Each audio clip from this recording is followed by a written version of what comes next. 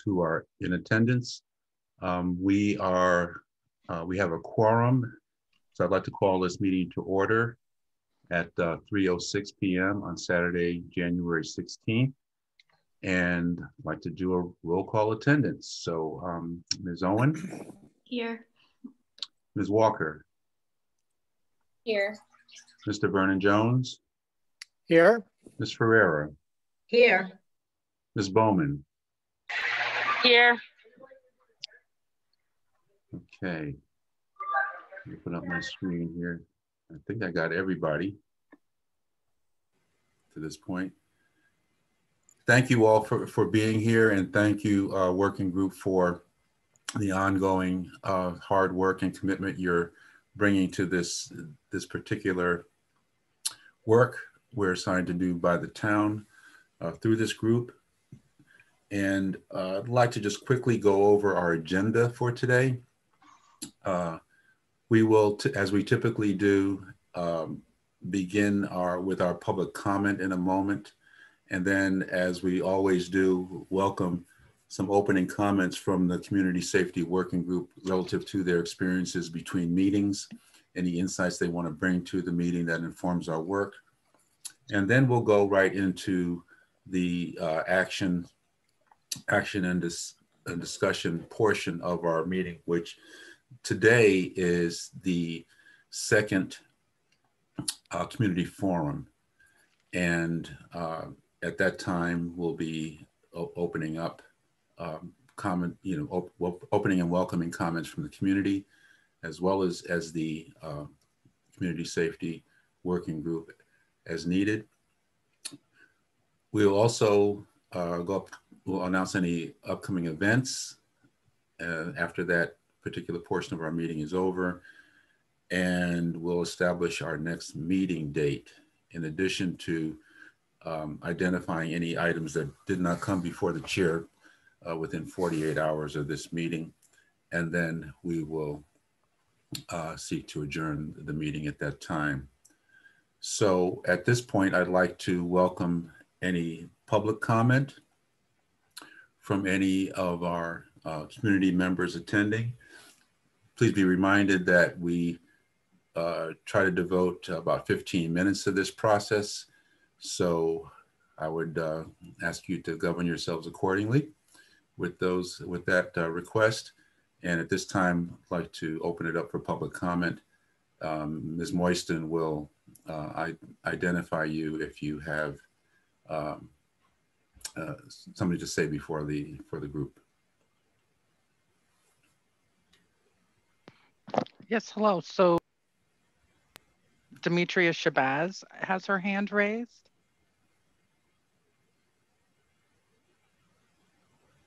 Yes.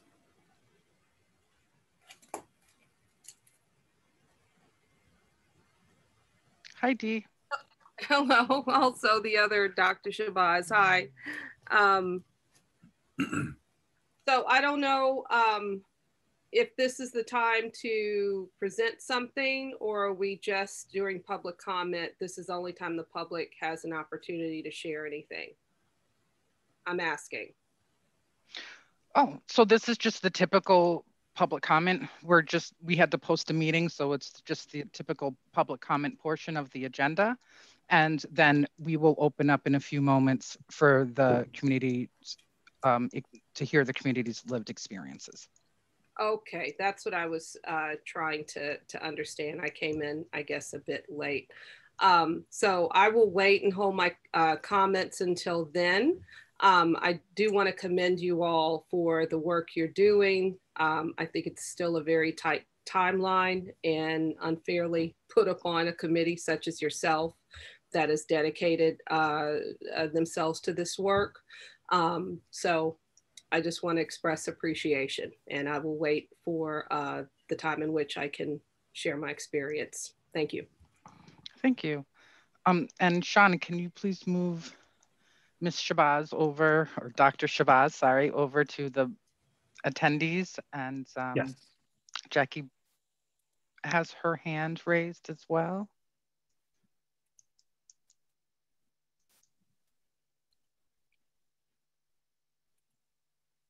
Did she come over?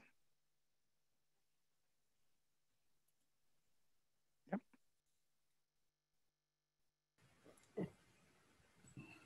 Hi, Ms. Bierce. Do you have a comment for public comment?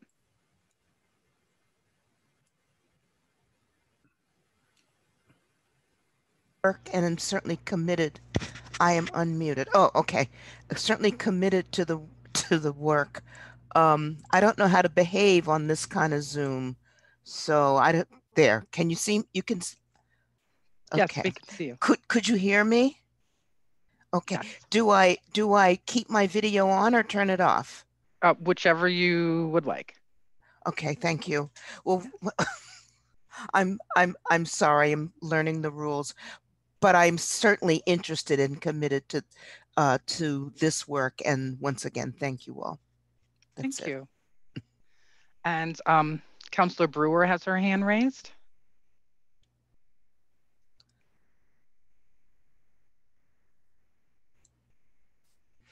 Yes, thank Chair Wiley. Yes.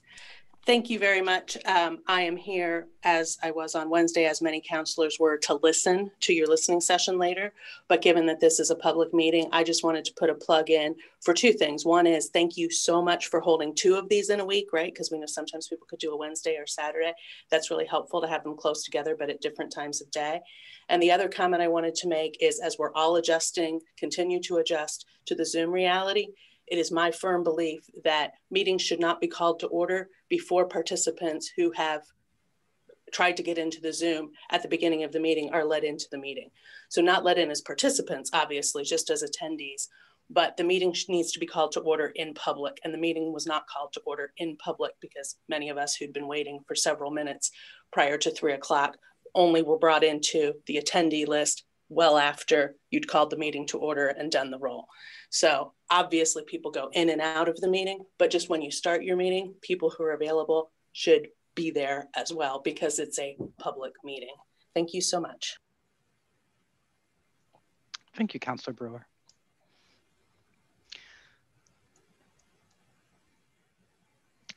So let's see here.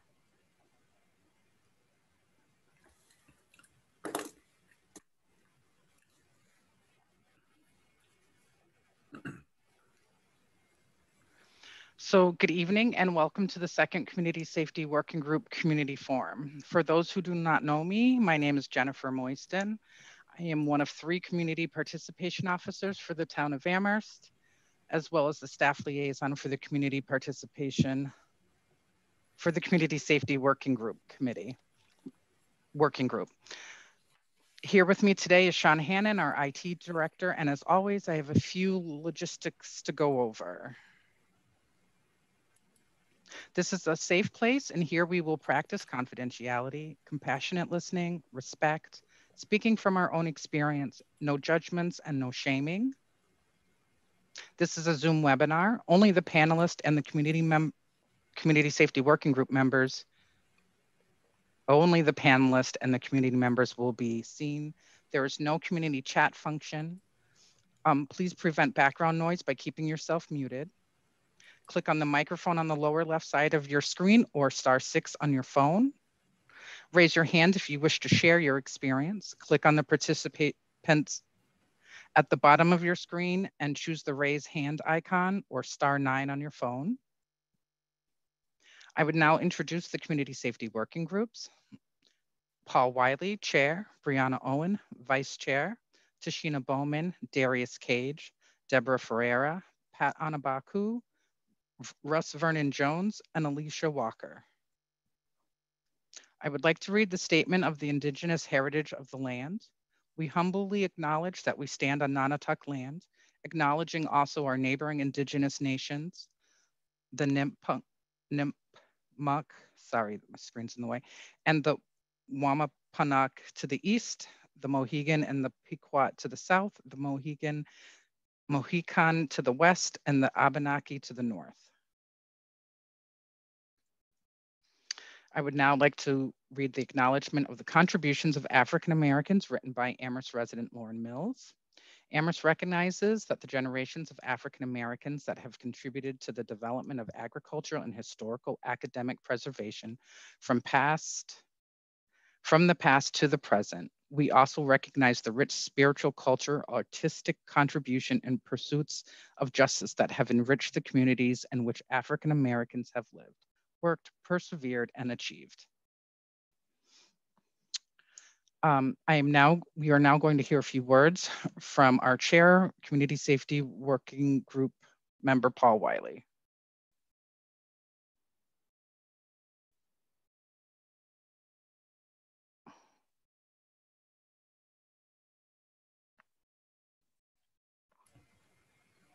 So welcome again, um, everyone, uh, to this community forum. We're, we're happy that you're able to, to attend. Uh, some of you were here on the uh, meeting uh, earlier this week, and thank you for attending a second time.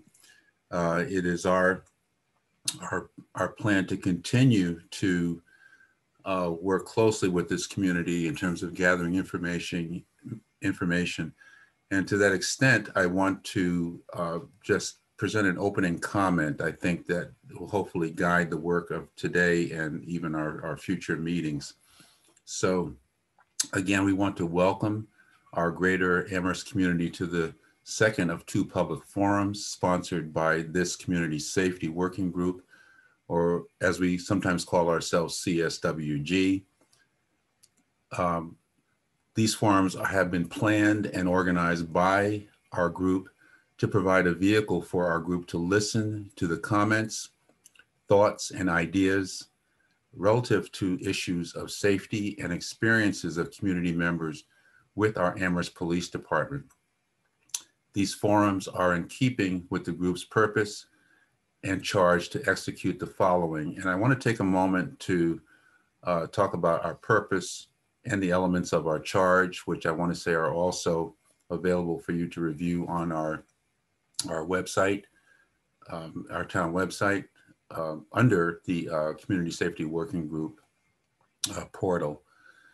The, the purpose of our Community Safety Working Group is to uh, do two things, make recommendations on alternative ways of providing public safety services to the community and make recommendations on reforms to the current organizational and oversight structures of the Amherst Police Department. Our charge is very explicit and very detailed. We are charged with studying the complex issues of delivering community safety services currently provided through the public, through the uh, police department and other means to ensure racial equity. The specifics under that topic are as follows. We are here to recommend reforms to the current organizational and oversight structures within our town. We are charged with examining existing town funding priorities for delivering community safety services. And we can best achieve this by doing the following, learning from previous work by the town through previous studies and committees, examining current public uh, safety services and how they are delivered, reviewing policies, complaints, and current training practices, exploring models of resident resident oversight of police departments, collecting data from people's experiences in Amherst. And I want to say this is one of those opportunities that uh, for people to do such. Engaging the communities most impacted by policing to develop alternatives and identify solutions to diagnose problems. And finally, we are investigating alternative models such as and this is not this is just a partial list because since the time I had actually written this this proposal with my colleagues here, I mean this presentation by my colleagues, we have certainly expanded our research into looking at different models. But the three we began with were the Eugene, uh, uh, Oregon Crisis Assistance Helping Out on the Street called CAHOOTS, Albuquerque Community Safety Alternative, Denver STAR, support team assisted response. The CSWG has been meeting weekly on Wednesday since the first week in December, with the exception of the last week in December 2020 to fulfill its duties to responsi and responsibilities to the town of Amherst. Our meetings are recorded and open to the public following open meeting law guidelines. You can find our agenda and links to the weekly Zoom meetings on the Town of Amherst website at www.amherstmass.gov. Both forums that we've held are being facilitated by Jennifer Moisten, who we appreciate the contribution of her time and expertise to this process. The CWG will present questions, which you'll see in a moment uh, being presented on, on the screen, to serve as conversation prompts for those who wish to speak. We offer these questions to broaden the arena of response, responses and comments. They are not presented as a fixed list of specific questions to be answered separately. Our hope is that this open-ended approach will provide a useful and supportive space for sharing. Ms. Moiston will keep track of each person's speaking time to ensure that everyone has a fair opportunity to express their views to the group. That being said, we have decided to hear from BIPOC or Black Indigenous People of Color voices first. Although we decided to hear from people of traditionally marginalized populations first, please trust that we do want to hear and plan to take seriously input from everyone present today. While we will not be responding to comments from the community, our role will be to listen deeply and respectfully to what is being offered and to use this feedback to inform our work going forward. We have allotted two hours for these forums. This forum will be recorded as, as, as was the others and posted on our town website within the CSWG's portal where they may be accessed by the community. Again, uh, we want to welcome you to our first forum and we look forward to learning from you in the two hours we spend together. And we all thank you for your attendance. I do want to say before we go to the questions and open it up for the forum, I would be remiss if I didn't recognize the, the expertise on our, our community safety working group and their ongoing efforts to, to be committed and show their commitment to the, the work that needs to be done in our community. All of us are here for the purpose of doing that work. And each one of the folks in on our group has made major contributions in the few weeks we've been together, uh, although it be a short time. And they, uh, I appreciate as the chair being able to work with such a fine group and all the efforts they're putting forward. And I don't expect, as they agree, agree with me, anything less than the best we can offer. So uh, thank you to the group again uh, for all your work and your commitment. And thank you all for being in attendance today at this particular forum. And like, turn it back over to Ms. Moiston and perhaps we can maybe present the, show people the questions and then invite people to speak.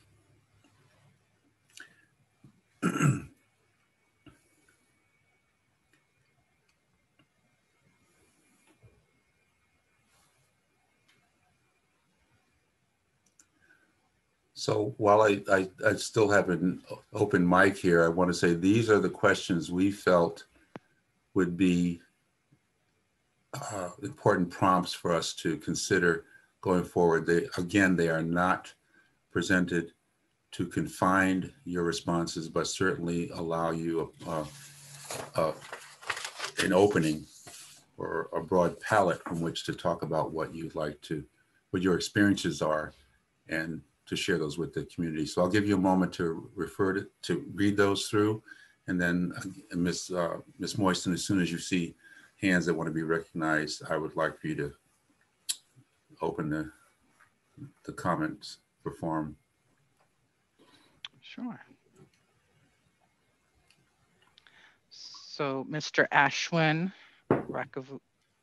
Ravikumar, I'm so sorry if I mispronounced your name.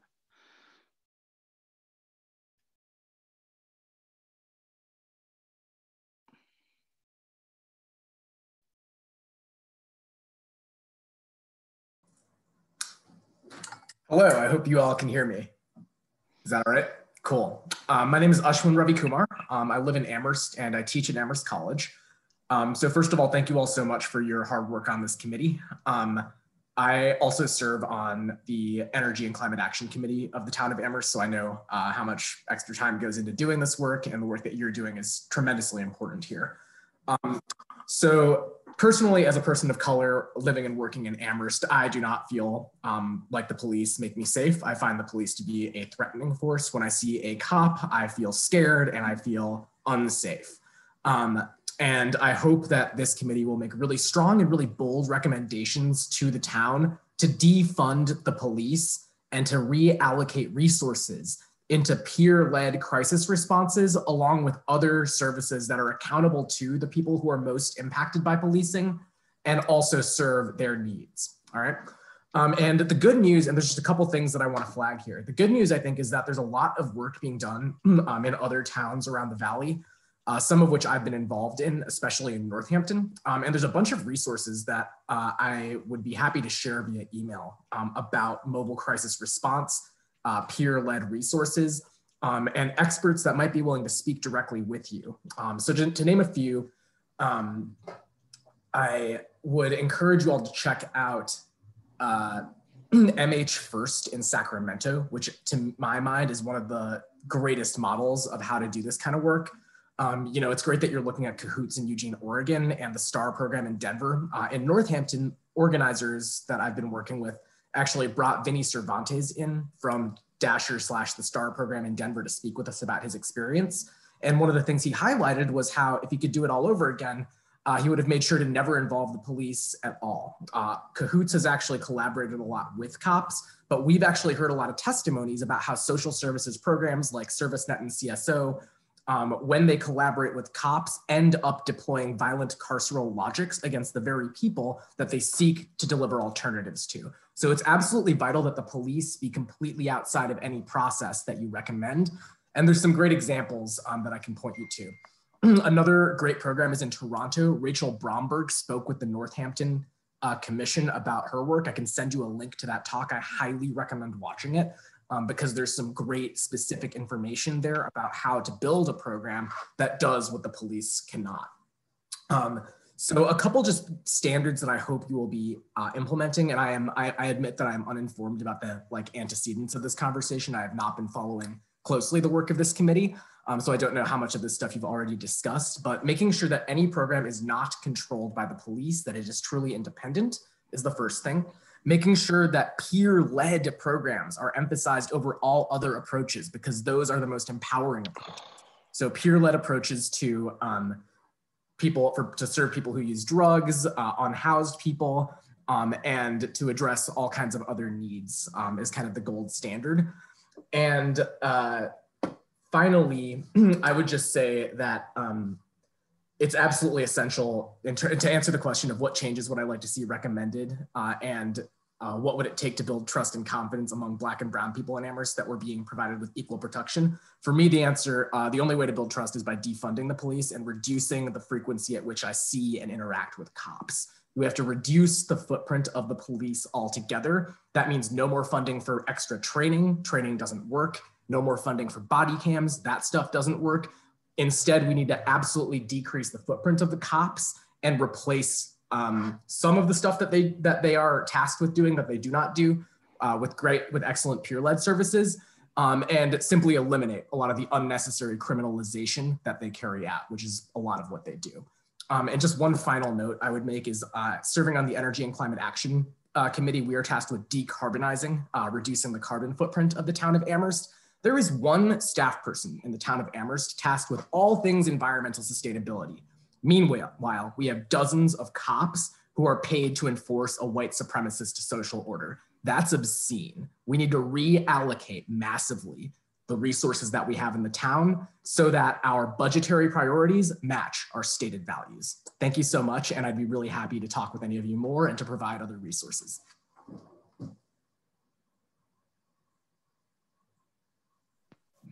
Thank you. And um, Professor Tyson Rose.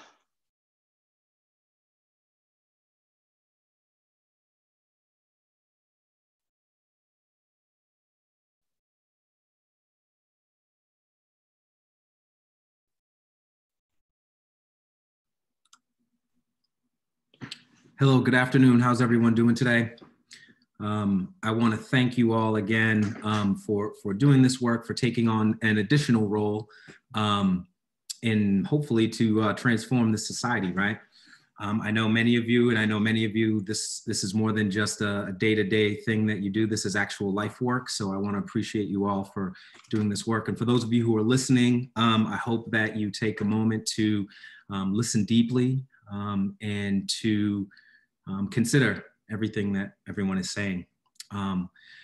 Um, so, you know, I want to thank um, the, the, previous um, guest on here. That was amazing, um, perfect um, statement, um, and I am in, in, full agreement with with everything that was stated. and so I'm not going to continue. I'm not going to add on to, to those kinds of things. But what I would like to do is really talk a little bit more about the experiences um, that uh, myself and others have experienced um, with the police in um, Amherst. So um, I live, I lived in Amherst from 2008 until 2020. Um, and during that time, I had many interactions with the police. I worked for UMass. I was a graduate student in UMass, then worked for UMass. Um, but I also um, worked as the assistant residential director for the A Better Chance House in Amherst and got a, a chance to witness firsthand um, the interactions that the police have with not only young people of color, but also um, professional um, people of color in, in the city. And um, I want to sort of give a couple of quick anecdotes, but I want to wrap this together because I think one of the most important things that we need to do is we need to understand what is the purpose of policing. Where did it evolve from? And as the prior panelist mentioned, it is intended to support a white supremacist society. Um, and until we begin to rectify and understand that, we can talk about reform, we can talk about training, we can talk about all of these things, we can throw social justice around for days, and nothing will change because we're not changing the culture surrounding policing. And so all of these anecdotes, these, these individual um, um, run-ins with police are grounded and formed from that cultural context. So I think it's extremely important to, to understand that. So um, in my time here, I have had a lot of um, run-ins with with police. Um, you know, um, those that are that are okay and those that are horrible. Um, and I want to share in my time coming in coming to Amherst from other places. this is something that we need to understand that it doesn't matter what town the police are in, they're still police.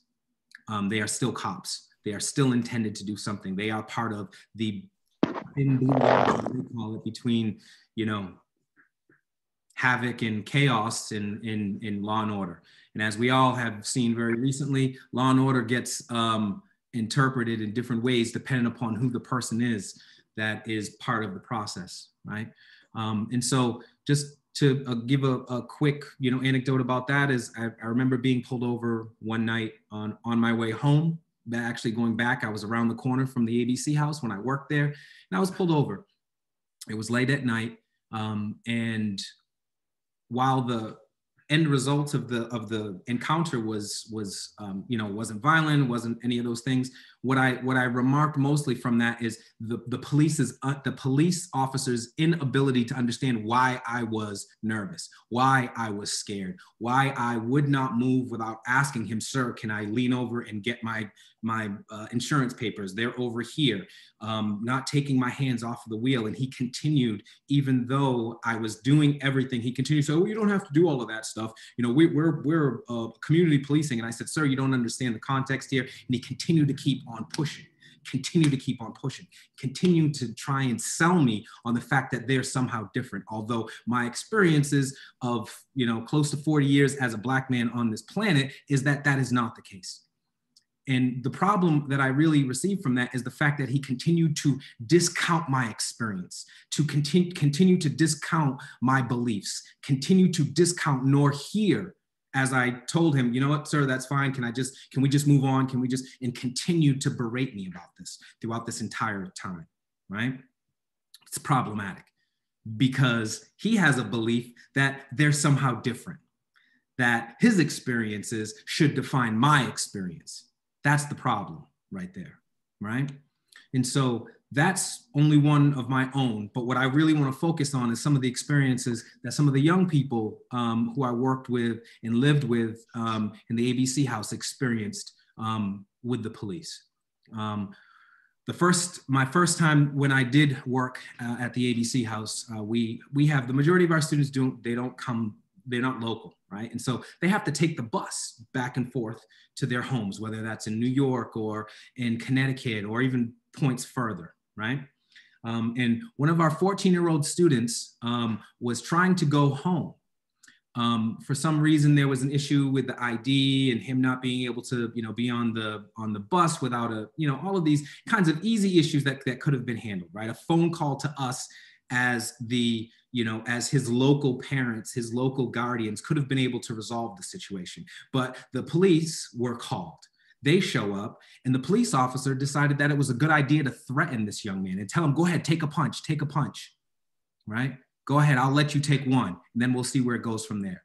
Trying to rile up this young person to do something that could possibly put his life in, in danger, right? That's real. That happened. That's on the record, right? These are the types of problems. And so going back to the person who talked previously is that police do not they don't operate for us, right? The amount of times that I've been pulled over on campus or off for no apparent reasons. And when I ask them, you know, why am I being pulled over? They immediately go to the next thing of give me your information. And I'm as a as a person who knows his legal rights, then beginning to go through the process. I'm, I don't need to do anything until you tell me why you pulled me over. And then it escalates. And then guess who has to step back? Guess who has to suck it up? Guess who has to be reminded again and again that you don't have the same rights? Your rights go only as far as I tell you they go, right? So the dehumanizing effect that this happens, um, that, that, that, that occurs to, to us is part of the problem. And that is part of the culture of policing in a white supremacist society, right? They're not here to protect and serve us. They are here to protect and serve the others from us. And policing as a means of continued segregation, of continued dehumanization, continued intimidation is part of the culture of policing in this society. Until we grapple with that, until we grapple with the fact that we just had a white mob attack the Capitol building, yet we all know that if those folks looked like us, there would have been bodies in the street. There's no question about this. And so, when thinking about what we may think of doing, we do need to consider new structures. We need to consider how this system has worked. It is not redeemable, it is not recoverable. And what are we going to do in order to create something new that makes that old system obsolete? I think that is our task here. Thank you. Thank you, Professor Tyson Rose. And next is Dr. D. Shabazz.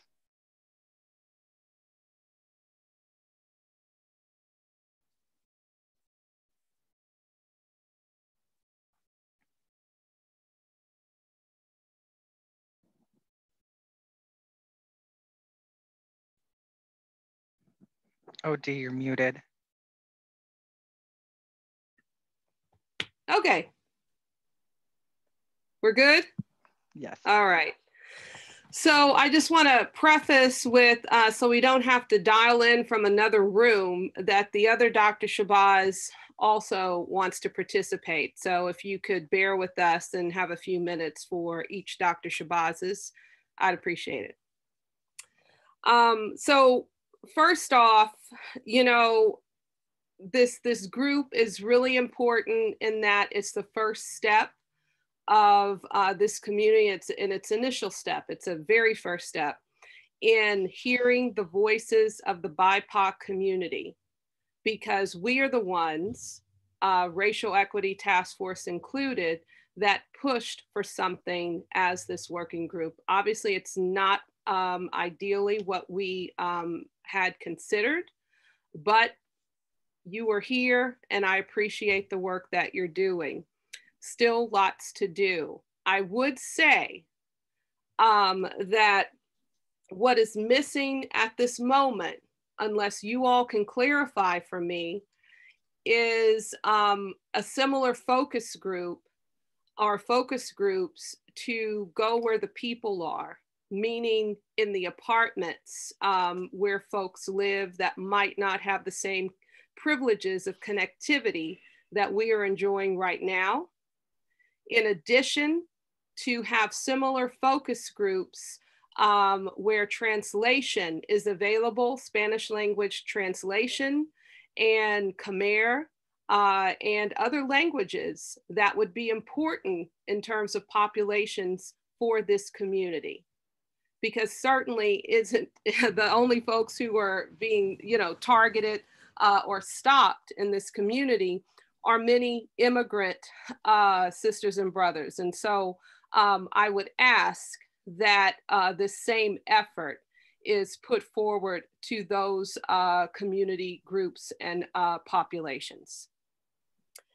So I want to reemphasize um, what was said about the mobile units, mobile crisis response units for wellness checks, um, mental health calls.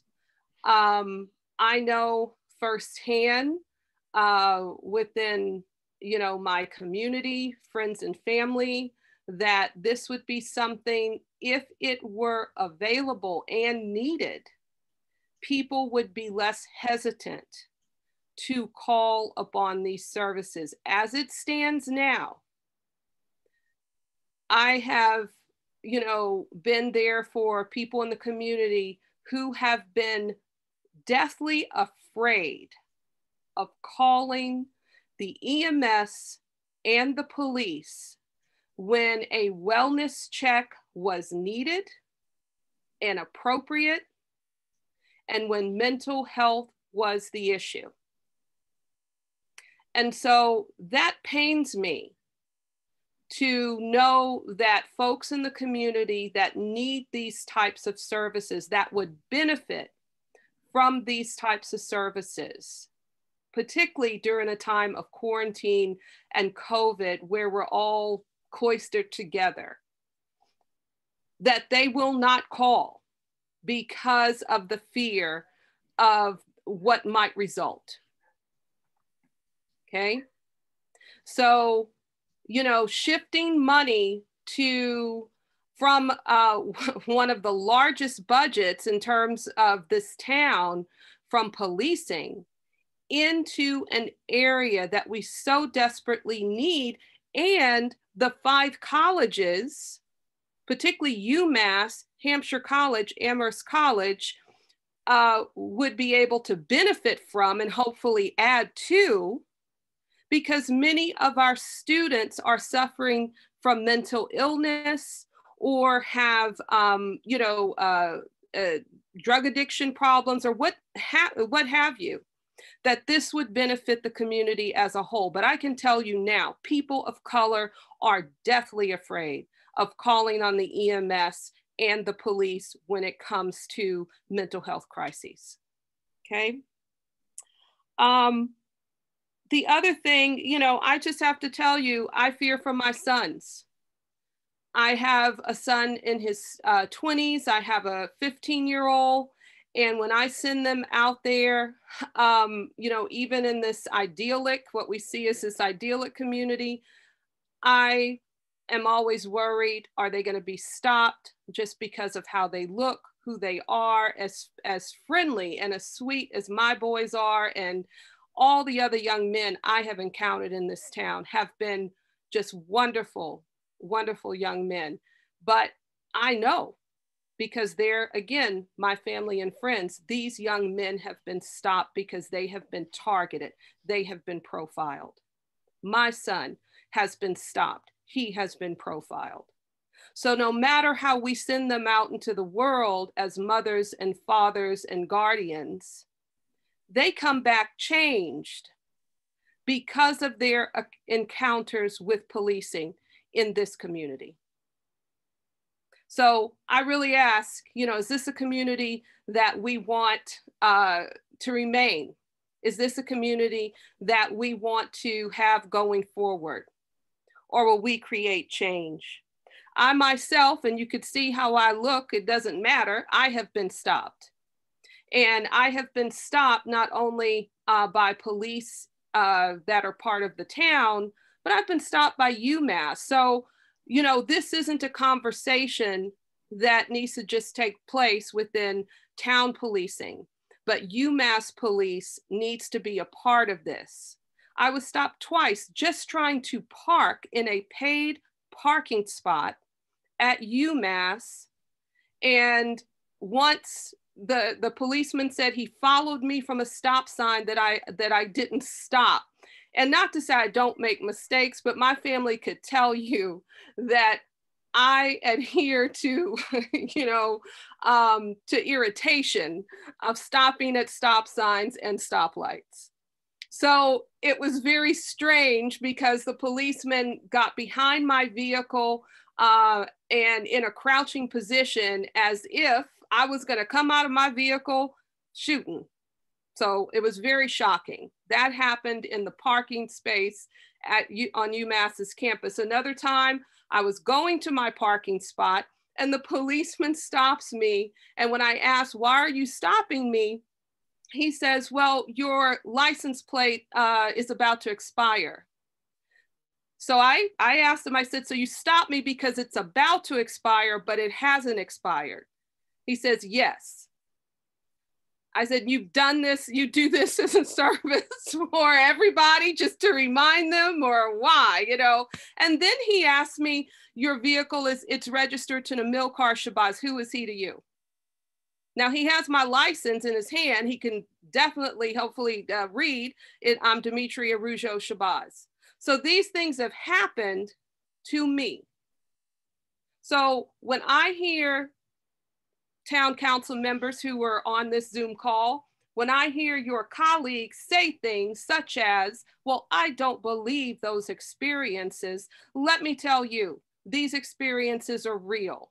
And if you really want to make change in this town and do what you've been elected to do, we need to change it now. So I'll let the other Dr. Shabazz speak. Okay, I, I want to uh, come at one particular thing that um, was just raised and wonder if you can incorporate it in your report and incorporate it in your um, activities, and that is the UMass Police Department. Um, I know the topics here and the questions here are all directed at Amherst Police Department, but we're one town and we pay taxes in one town. And if UMass is going to be is a part of this town, how do we get accountability about the UMass police? Since the death of George Floyd and Breonna Taylor, um, I have had a number of calls, emails, contacts to me. And to be honest with you, all of the cases uh, in terms of police issues, all of them involved the UMass police. Maybe one was Amherst Police Department, but all of them were UMass police. So how does the town and how do how can this working group also speak to the issues of that force, which is actually a larger force than the Amherst Police Department, so that we can all be safe. Okay. And these cases, I've, I can tell you, I followed up on all of them. I um, was asked to help and, and, and I did what I could. And I spoke with uh, Chief Tyrone Parham on at least half of them, uh, on a number of them. And I got his side, I got his view basically he asked me if the person would step forward and come and talk to them. I got back to the people that i'd heard from. They were not interested in going down to to uh, to, to, to, speak with chief parham. I said i'd even accompany them but they had no interest. And, and these weren't all cases of african americans. One of them was uh, specifically a case of a non-african american woman that um, uh, had a, had a, a negative encounter with New, UMass police. So I don't know what you can do or what you can include in your report. But again, we're one town. And if uh, if this other force is also a source of problem, how are we? How can we speak to the problems coming from that force as well? And I and I say all of this knowing the chief of, of both departments, uh, knowing them both as good professional uh, uh people who are trying to do good jobs. But again, there are issues, and um, this is not my job. I have a job. I have a very busy job. I don't have the, the time to go and, and just because my name is out there as a public figure or whatever to to to run down all of these different cases that come my way. So anything you can do on the UMass one, I'd appreciate it. Finally, I want to acknowledge that this is incredibly complex problem, incredibly complex work. Um, around the um, Christmas Eve, toward the end of uh, um, of December, coming from Atkins Farm to my home, I um, collided with a deer. Deer jumped out. I could not stop in time. I collided with the deer. Knocked the deer to the ground, but the deer got up and ran off. I was concerned that that the injury that the deer sustained, something might happen. It could be out and, and attack or, or whatever. Uh, I was concerned for the deer, concerned for people who might encounter that deer. Uh, I looked for a while. A person who stopped behind me looked as well, um, but the deer was gone.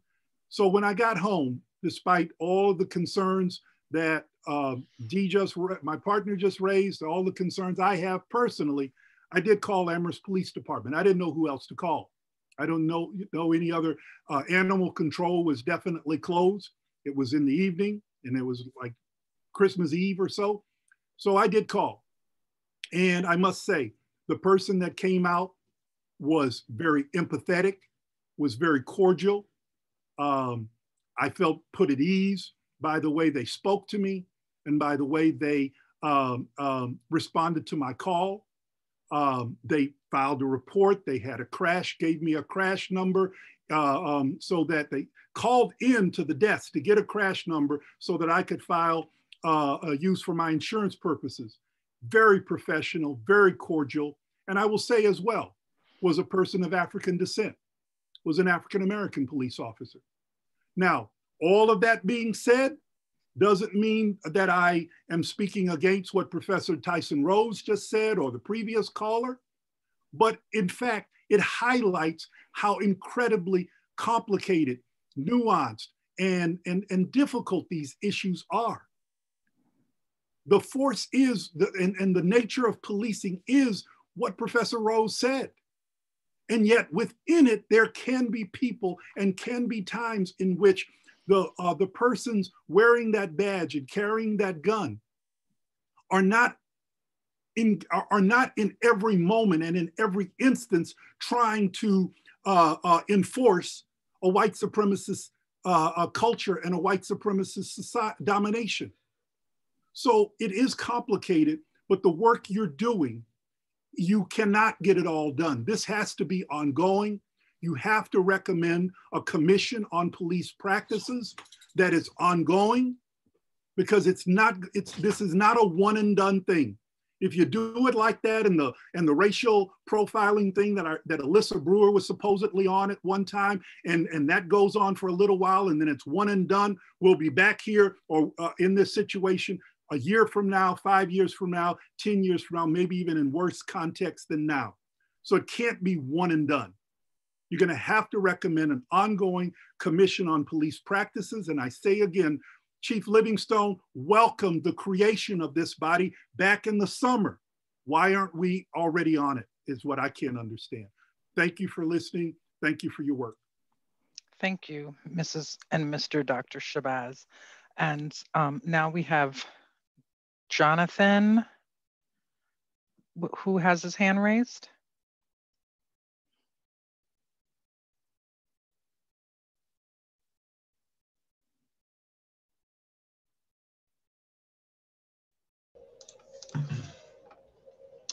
Um, hi, folks. Can I, am I heard?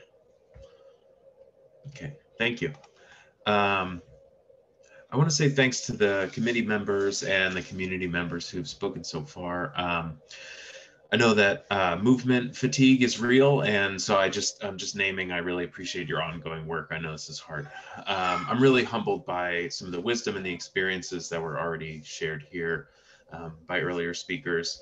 And uh, I want to echo calls heard earlier to sort of expand the scope of this body to looking into community relations with the UMass police um, and echo the call for an appointment of an ongoing um, commission on police practices. Um, and then I want to speak more to kind of another specific issue, and, I, will try to keep it brief. Um, so we know that in the history of, of far right political movements, like the one we saw perform really egregious acts of violence in DC last week and ongoing all across the country throughout our history. Um, in the history of these far right movements, complicity on the part of law enforcement and others who are entrusted with our, our state monopoly on violence is a huge part of the success or failure of these far right movements. We know also historically that law enforcement is applied much more strongly against um, leftist and civil rights movements than against right wing or far right ones. Um, I think Professor Rose spoke to this when he said, We all know that um, if it had been people of color uh, committing those acts on January 6th, the police response would have been much more violent and much greater. Um, and, and I know that leaders in our town, some of whom are here on this call, um, who mostly, it, it has to be said, share a, a higher level of class and racial privilege. Um, I know that they themselves feel, and perhaps their peer groups feel, that they have good relations with the police. Um, but I ask you this question how well can the rest of us rely on that, on those good relations? Um, and for the w- leaders that are willing to listen, we've heard a lot of stories here today. You said this summer that you didn't believe the stories you heard. Um, I'm asking you to to try and appreciate the emotional labor and the personal risk that folks who have spoken on the call today have taken to come to the table to share their experiences again um, and to educate you because um, you didn't believe the stories you heard this summer.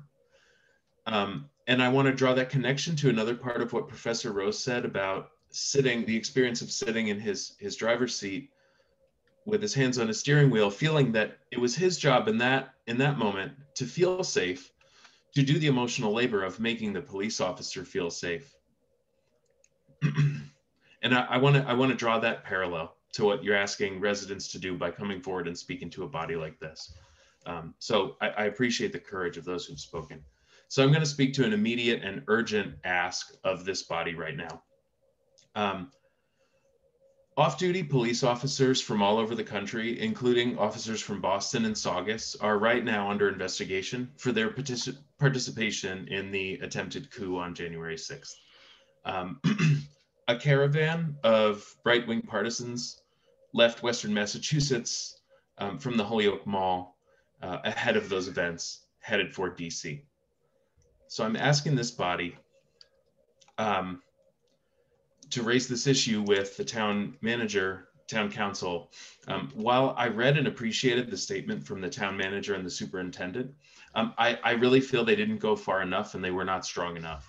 So I'm asking this body to ask the town manager and town council to conspicuously and publicly demonstrate Amherst's civilian oversight of policing by releasing a joint statement with the chief and the APD guaranteeing that no Amherst police officers were present at the Capitol on January 6th, nor did any APD officers participate in any of the illegal and dangerous activity that happened in Washington, D.C. that day.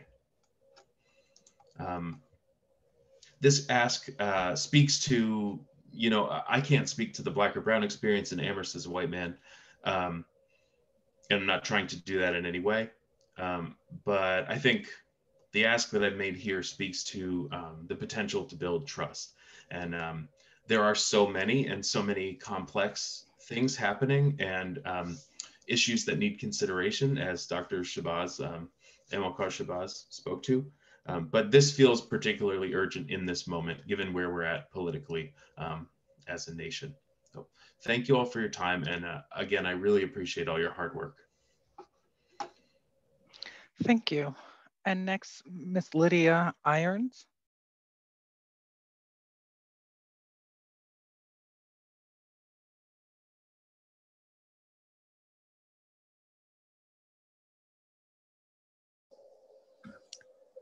Hi, can you all hear me? Yes. Great.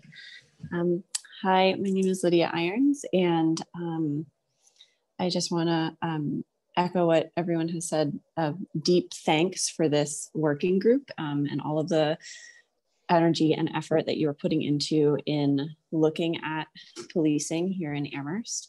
Um, I'm coming to this meeting as a member of Defund 413 Amherst um, to uh, offer all of our um, information that we gathered this past summer before the budget meetings. So um, I want to remind everyone on this um, call that there was um, 52 people that participated in two different budget meetings calling for um, a reduce of the, the Amherst Police Department budget. And um, we took really detailed notes of all of, um, hold on one second, my uh, toddler is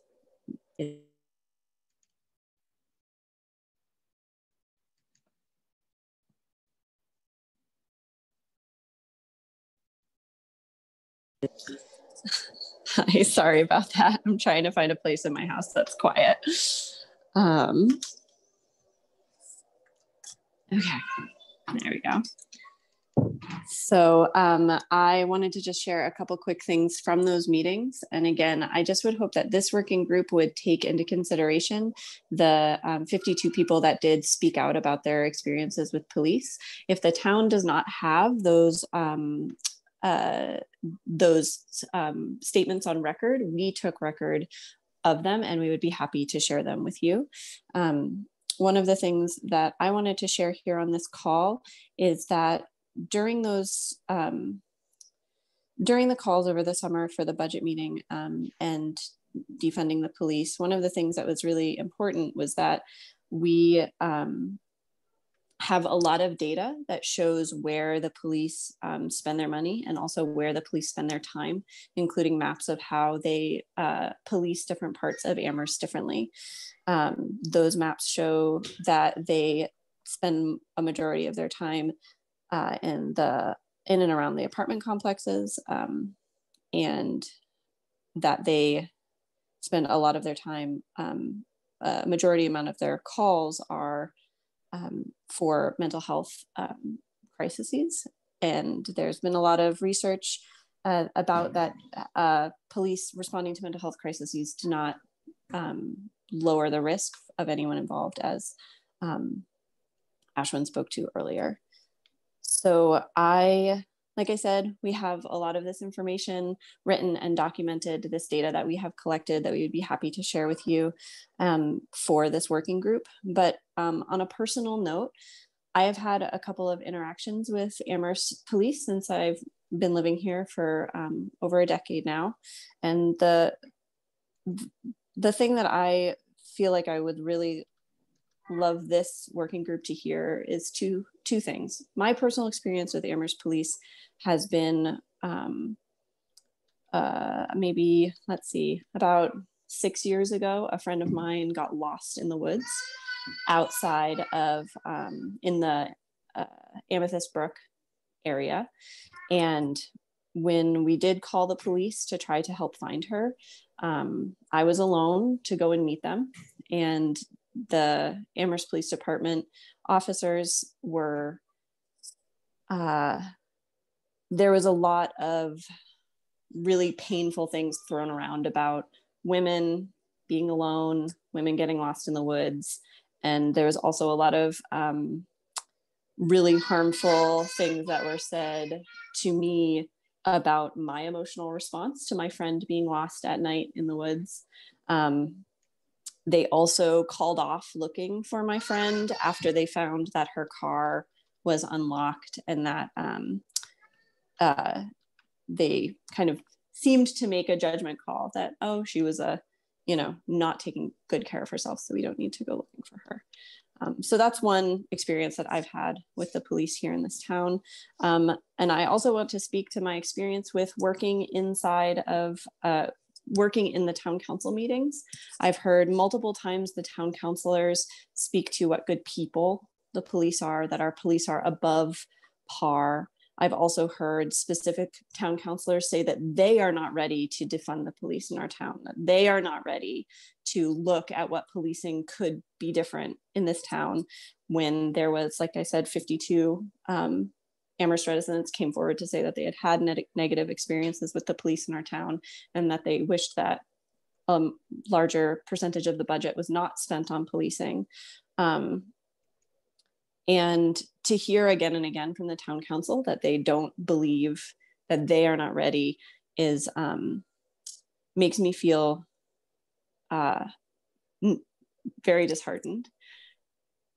I also, the last thing I want to say is that this working group, there, um, I can see already from the town manager and members of the town council, they're putting a lot on you. I can, I have heard in town council meetings, well, we'll discuss policing again when the community safety working group comes back to us with what they have um, with, with their report.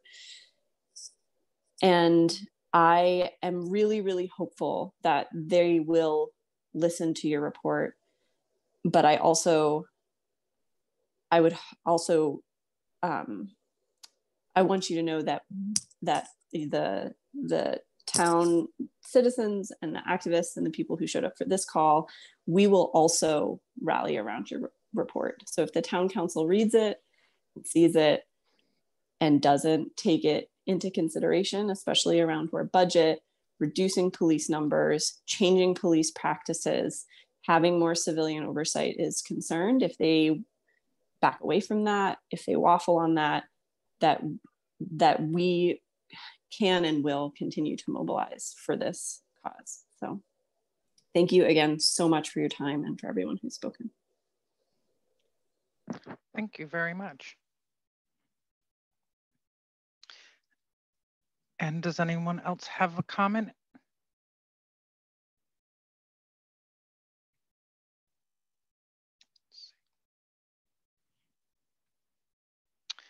And I have another Lydia.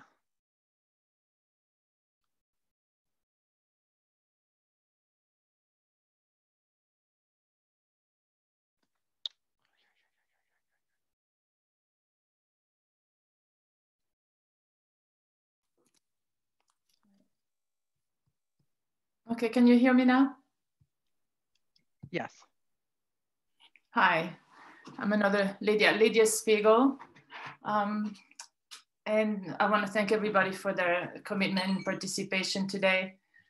Um, I'm coming here completely new, no affiliation to, to any group. I'm coming as a mother and, and just a citizen of Amherst and mother of two boys uh, one white, one black. And so having seen, experiencing um, very different uh, ways and, uh, and connection with, with um, experiences with authority and police around the town of Amherst um, directly through my children and, and friends and families affiliated.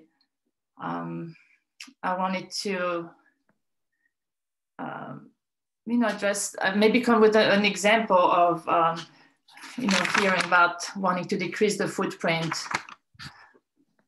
of the, the police in town for sure, and and um, and looking for uh, ways, ideas, solution on how to to have them be more approachable and non-threatening. Um, police authority, by the way they, they appear or or the impact that it has then on um, on the the youth more specifically, but on anyone hearing of everybody's experiences.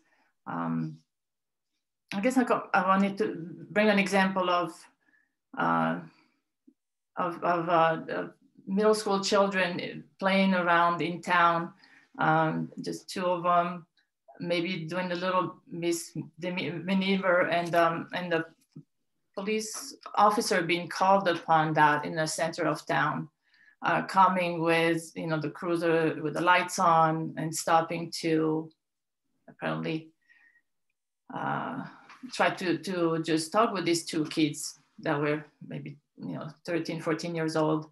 Um, next thing you know, there are another cruiser, and another cruiser stopping in the middle of town. One of the children when my, was my child. Um, they hadn't actually done anything wrong. I heard from that, uh, from my child not being called. And this is just an, an example, not parents not being, uh, being called in. Um,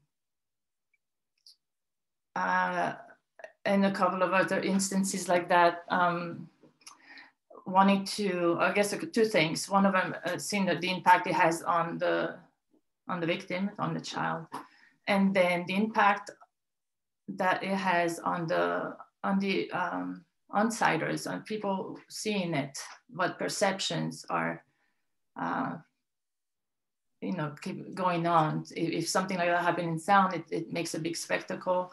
What do people, we can control what people are thinking, how it's portrayed. And a few times I went uh, to the police station um, to try to explain the experience.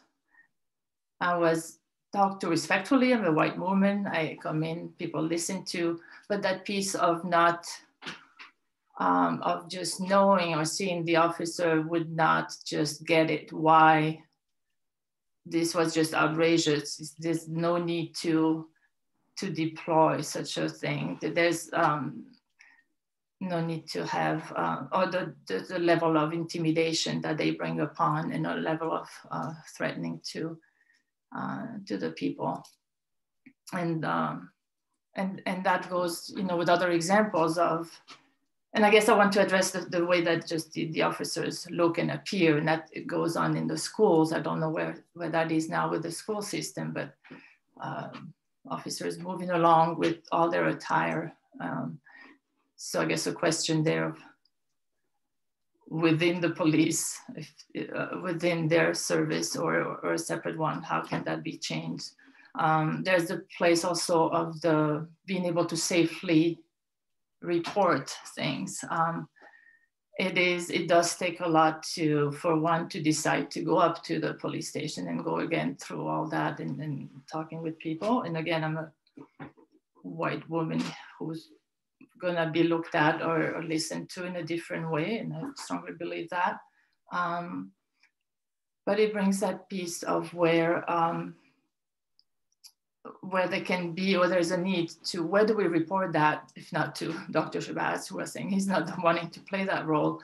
Where is there a, a place a safe place that's not the police um, that people can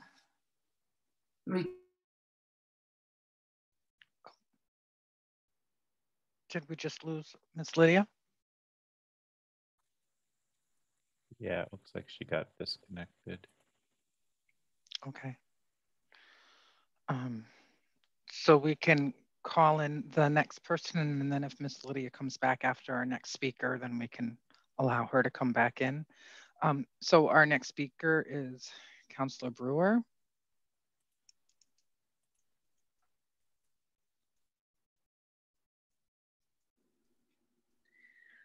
I'm sorry, thank you. I know that we were making a point of not having councilors speak if at all possible. And certainly as a white councilor, I did not wish to do so. But I did want to just make one modification to something that was stated earlier. There was a previous police stops committee. As a representative town meeting member, I assume I voted in the favor of, as the majority of representative town meeting did back in 2004, to establish a police stops committee. It had a fairly simple charge, which was to create a single one page form that did some demographic tra tracking, the kinds of things we think are really obvious now, but many people were not doing back in 2004. I was not part of the select board that set the charge up for that committee after town meeting's action. I was not part of the appointing authority for that committee. That committee had a majority of people of color, including representatives from the Human Rights Commission. And as far as I can tell from town records, which are often spotty in certain places, basically nothing happened. And the committee was eventually disbanded. The committee just eventually faded away. And so I very much appreciate all the comments that people have made about the fact that this is not a once and done process. This is an ongoing thing. This is not necess- this is not one group of people's burden to bear. for a period of time, but it is all of our responsibility to ensure that it is something we look at. While I was not responsible for the police stops committee, I am ashamed of the fact that I did not press the town manager at the time to say, what did you find out from that? That I did not say, please have the police chief come and explain to us how they have changed things because of that town meeting action. Instead, I deferred to the fact that I had not heard from any committee members that they were dissatisfied. I had not heard from any com community members that they were dissatisfied. And I'm ashamed to say that I let it go. I have no intention at this stage of life of letting things go. Thank you. Thank you, Councilor Brewer. And next, Ludmila Pavlova Gillum.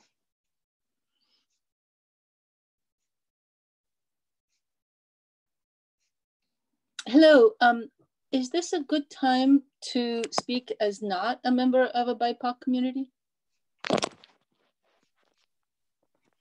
I'm sorry. So we've, yep, so we've asked that the BIPOC community speak first. Exactly.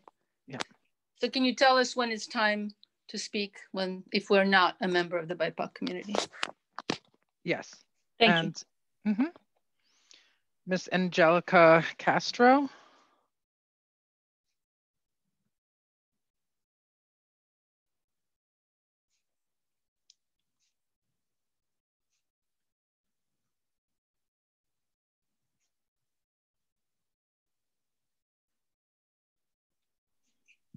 Hello, can you hear me? Yes. Everyone. I think Paul's hand was up. I don't know. Uh, Paul, did you want to say something? Okay. All right.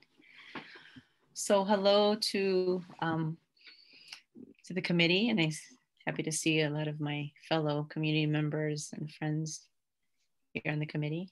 Um, so I uh, echo a lot of what's been said, um, but I just wanted to um, just from myself recount uh, a couple of stories, personal stories. Um, and, you know, I thought about speaking as it would be, was be helpful, would not be helpful, but it just, I can only speak from my experience.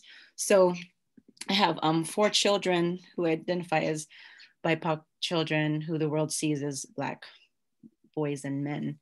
Um, and the first incident I can remember, um, my 16 year old, uh, so unfortunately, these two incidents I'm going to name is that I had to call the police on my own kids, which is hard to say as a mother of color.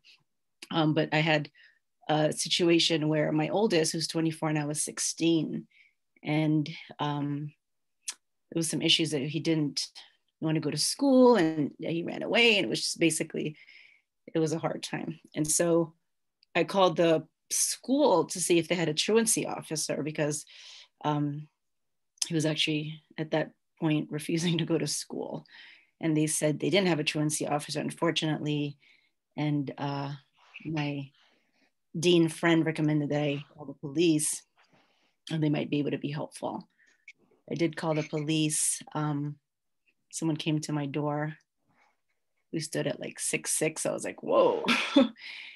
and it was actually really helpful. He was very um, a great conversation. He had asked some really great questions. I felt um, that was really at the time as a mom, kind of at a loss of what to do.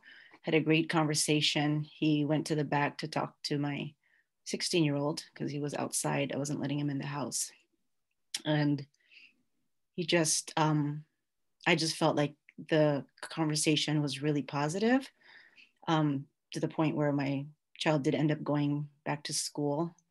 Um, part of it was positive, but we also came up with some little bit of scare tactics, like, I meaning like, you know, if you don't do this, you know, you can possibly, you know, if you don't continue to do some of the things you're on track to do. But I think what, you know, then this might happen. But I think what I really appreciated was the police officer used really kind of positive, a really positive tactic where, you know, um, I, I, know that you're part of the basketball team. I know that your, you know, four, your three younger brothers look up to you. Um, you don't want to do this. And so they just had a really heart to heart talk. That was really helpful. Um, and then again, my second son, who's 22, my second child actually, who's 22 now, when he was 16, same thing. We had an issue. He went outside really angry. And I called the police just because I was scared he was going to hurt himself. He was um, kind of a place where he was really angry and he was by a couple of my car and um, ex-husband's car so i didn't know if he you know just didn't want him to hurt himself three police officers came and um, it was again another really positive experience i i didn't again at a loss for what to do i was scared um, they just really talked to him in a really I felt a really like loving, really kind of um, comforting way. Um, they calmed him down. They said, you know, do you want us to um, just let you go back inside and will everything be okay? Or do you want us to stay? And kind of asked me, my son. He was fine. He came in and we, things, you know, settled. Um, I got a call back from them just to check if everything was okay. And I said, yes, everything was fine. Um, one of the other situations that happened was, um, or that I wanted to name was, uh, there was a police officer that actually um, volunteered to coach uh, my second my second child that I talked about, coached um, their basketball team for I think three years. And so sometimes he would come in uniform and coach. Sometimes he would just come in uniform because he was working and just wanted to check on the team. Um, my child that I'm talking about um, had a lot of respect for him. Um, we had a lot of times had talks about, um, you know, police officers and their role. And so I think that was a really positive um, a moment to have a positive uh, model, role modeling. Um, and I bring those up just because I feel like, you know, when you think about community building, like how to build community trust with with um, authority and police officers, I wish that we saw that more often, right? Like more instances where they were present in a positive way. Um, um, and and present in kids' lives in a way that you can see police officers as not scary or the things that people hear. Um, and so, and I mean, honestly, again, I've heard a lot of stories. Have friends, and you know, so this is not to kind of um, dismiss things that have been shared, but I just say for me, as someone who has raised um, my my 24 and 22 year old were one and three when I moved to Amherst, um, and I raised them here. Um, and so I have four children 24, 22, 16, and 13. And so, um, and so I, those are the situations I've had. I haven't had any negative situations outside of that. Um, and that's not to say anything um, again dismiss what anyone said but i'm just speaking from my experience so again i just wanted to bring that up to not to counter but just to also use that as you know again encouragement for the Amherst Police Department to have more opportunities that they show up in the community um, in ways that are really helpful um, and, and role modeling. So those, I just, that's what I wanted to share. And I think again, the committee, which a lot of, I see a lot of my friends um, for the work that you all are doing. Thank you, Angelica. And are there any more questions from the audience?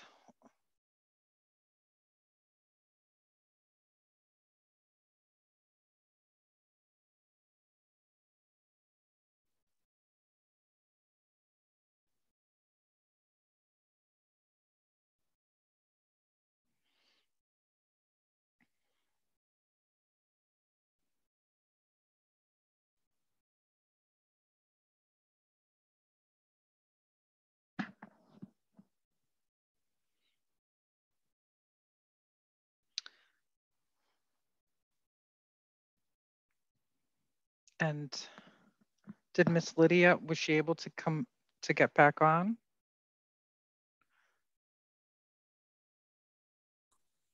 Yes, she's there. I'll bring her back in now. Thank you.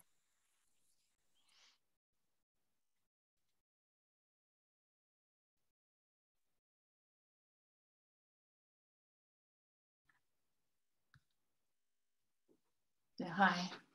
Am I on? Yes. Yeah, sorry about that. I'm not sure what happened technologically here. Um, and also apologize for, uh, I didn't hear that piece about the member of the non-BIPOC community to, to wait for a turn later. Um, so I forget where I was cut off, but um, I think there was a, a, place where I was bringing up the a need to have to have a reporting place that can be other than the police for when somebody experience or witnesses incidents in town and that can be a place that where things get recorded and and, uh, and kept and um, um, maybe help sorting through how to then process it from there. Um, I think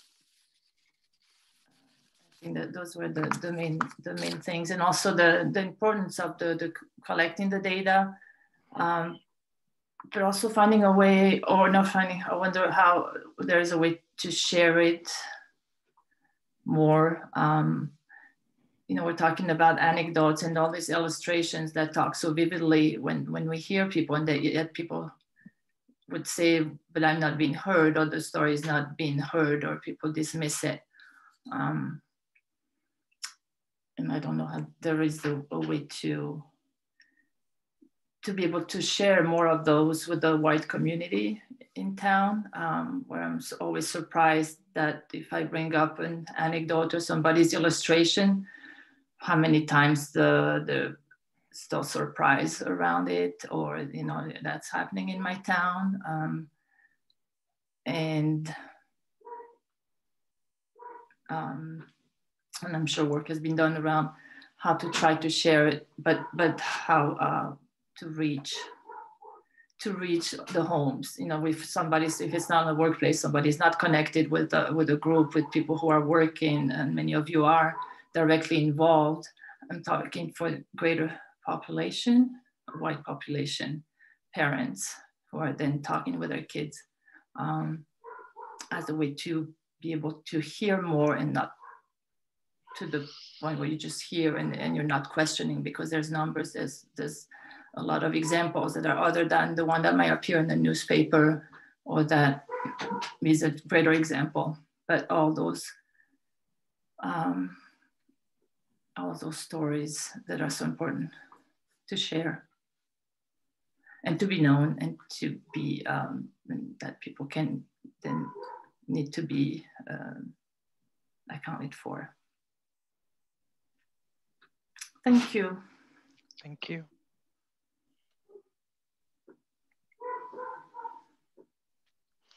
And are there any mother any other attendees that would like to speak?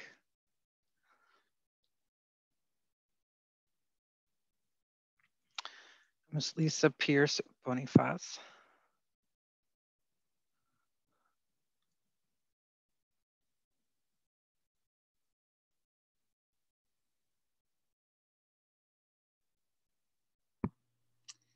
Um, I'm not a member of the BIPOC community, so I'm willing to, to step back until that, that time is available. I wasn't quite clear on that. And I'm gonna refer to the chair for that.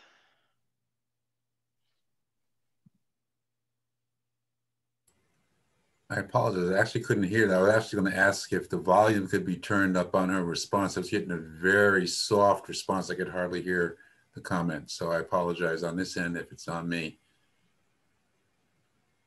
Um, my comment was just um, if this is not the time for someone who's not part of the BIPOC community, I don't mind stepping down and waiting. I, I think based on what I think in terms of the hand raising piece, I think there's one one more additional comment by a BIPOC person, and then I would ask um, Ms. Moisten to invite you in right after that comment, if you don't mind, if that's okay with you as well. Thank you. You would be you'd be next after this this acceptance of this call. And Ms. Moisten, I think there was someone else that was non-BIPOC who had also, yeah. Ludmila, yes. Yeah. And Well, we don't forget. um, I believe it's Ashwin would like to come back.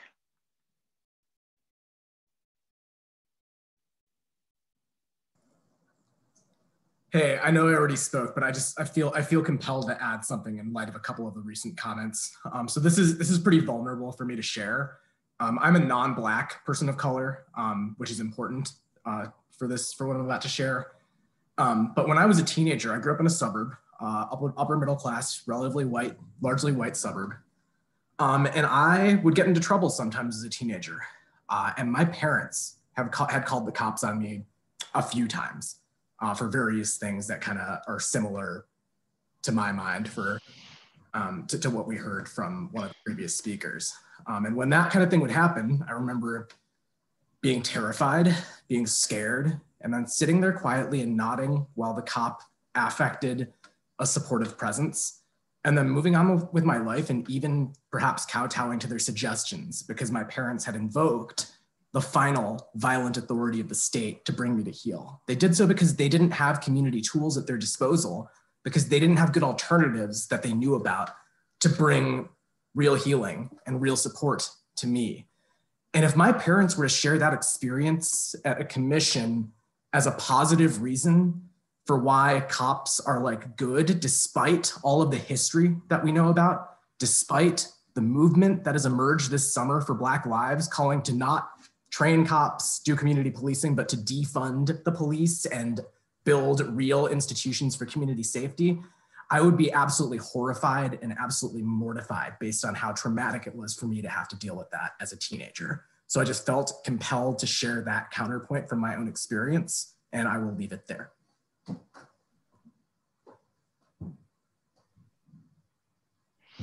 And are there any other members from the BIPOC community that would like to speak?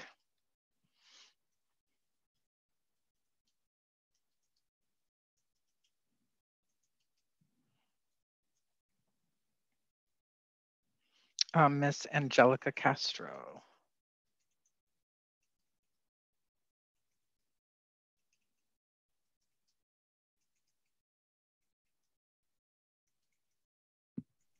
I would just like to agree with the point that I think there were no, for me, in terms of tools at my disposal as a mom who was going through what I was going through. I think um, when we, again, thinking about community policing or community um, tools uh, when things happen. Um, and like I said, when I called the school, even uh, a friend of mine who was a dean, the recommendation was to call the police. So I think, I, you know, I would support that, right? That I think when something happens and there are no other tools, um, what do you do? And so I just wanted to, I just felt led to to agree with that. So thank you. Thank you. And any other BIPOC community members?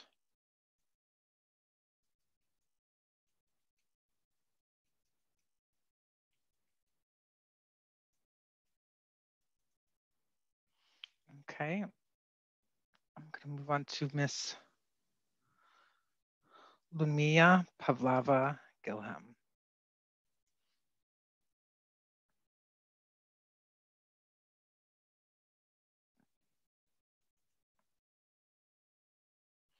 Oh, you're muted and and somehow sideways. I Thank you very much for allowing me to speak. Um, I wanted to speak to the experience of my two children who both grew up as boys in Amherst. My youngest one is 17, he's still growing, and the older is 29. My oldest son was um, a hockey player, very um, happy in the high school, um, very happy with and appreciative of the work that police was doing in town. Um, there was one time when he got in trouble, and instead of walking away from the trouble the way his some of his friends did, he walked toward the policeman who arrived on the scene.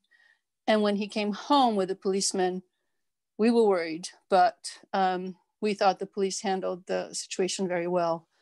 Um, and then as he got older and went to University of Massachusetts Amherst, he and grew a beard and was riding a moped, his experience as a young adult with the police was different. Um, he was um, a security guard at LIT. And one night there was an altercation with some uh, students who were misbehaving. One of his buddies, who was uh, an African American who lives in Springfield, was trying to diffuse the situation. They ended up having to take um, a patron outside who was attacking the security, um, uh, the two of them as security representatives with a knife. Um, someone called the police. The white person who was the part of the, who was actually the cause of the problem ran down and uh, ran down the street in the center of Amherst and addressed the policeman and told them that he was being attacked by the black security person. When the police uh, came up to Cameron and his friend or colleague, um, they immediately arrested the African American and didn't hear the whole story on the spot. Um, they it took him, I think, a number of months to come out from under the suspicion that he was the one who was attacking a white patron, rather than being in fact someone trying to diffuse a situation and being put in a very precarious and physically dangerous position by a drunk patron. So my son was traumatized by this experience, um, that the Amherst police responded in this way and were so obviously um, racist, honestly, in the way that they um, assumed the white person was telling the truth.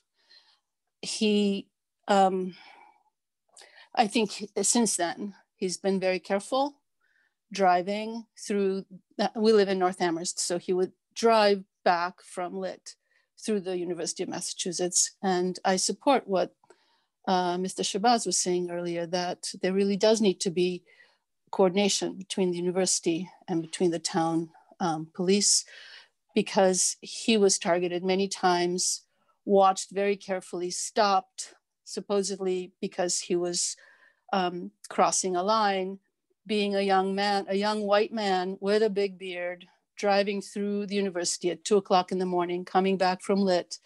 Um, he just felt that he was always under watch and that the police were looking for a reason to arrest him rather than watching over him to make sure that he was safe. Um, I would like, I, I appreciate a lot of the comments that I heard earlier and certainly would support um, the establishment of a board that could monitor and facilitate a changing of culture so that um, the police might address some of these issues. In one other case, he was stopped by a UMass policeman who accused him, uh, he was on a moped, and the, the law is different for a motorcycle than from a moped. He had a registered motorcycle. He was driving on the side of the road. The policeman who stopped him and arrested, arrested him um, gave him a ticket and it, he didn't deserve it. He challenged it over the course of four months and it cost him to challenge it. And finally, he got clarity in court. But the policeman didn't know the, the rule, the law. He basically saw a young man with a backpack with a big beard on a motorcycle, what they thought was a motorcycle, and uh, arrested him a couple of times. He used to carry the court paper in his back pocket while riding his moped because he was afraid that he would get uh, uh, stopped and arrested again by the same officer. So I think there are definitely officers who are problematic on the police force, both um, at, in Amherst and in the University of Massachusetts Police Department. But it's very difficult for us to address those issues if there is no formal mediation process um, my youngest son has lived with his brother's experiences, both as someone who admired and um, truly appreciated the work that the police do as safety and guardians, um, and then who lost his faith, so to speak, who got seriously discouraged by the practices that he saw as he became an adult. And when we were talking about how he felt after the events over the last few months, with um, especially after what happened at the Capitol, I asked him, what is the problem that you see in and are most afraid of? And he said, toxic masculinity. That's a lot for a 17 year old to think about. So I would like to support this committee's work and anything that you can do to facilitate um, improving the culture of police in town. Thank you so much. Thank you. And um, Lisa?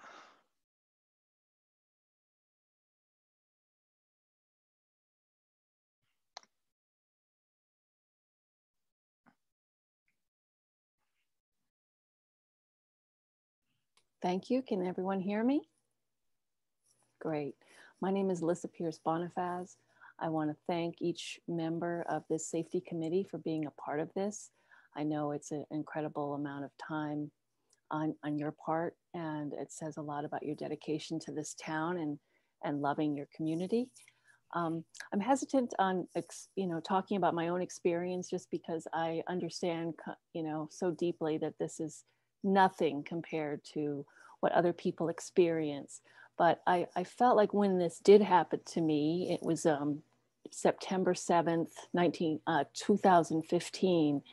Um, it was the UMass police. So I do want to um, just speak to what the Dr. Dr. Deesh and, and Amilcar Shabazz spoke about, about it being UMass as being part of the problem as well. And I just felt like if this could happen to me, and I took this all the way to court because I felt like if this could happen to me, it could happen to somebody else and it needed to be stopped.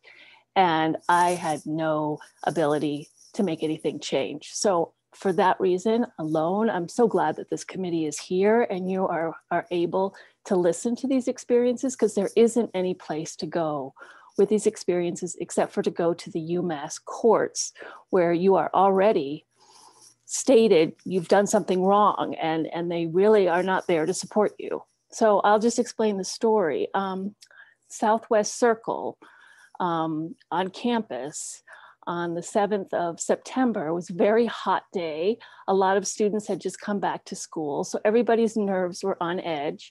And I think, can't remember who it was exactly who had been in the media for being killed African American being killed by the by by the police department, um, I was on edge as well. And when I saw this police officer behind me, I quickly wanted to do something. Like I thought he needed to get around me or something. So I I saw him behind me and I approached cautiously this pedestrian stop and I didn't I stopped there. He didn't do anything. So I went to I guess it was like a blinking red light and I think I passed through that red light because I thought he wanted to get away. Uh, he wanted to get around me or he was going somewhere because he was kind of tailing me and nothing happened. And so at that intersection, you can actually have to turn left again onto Fearing Street, I think it is.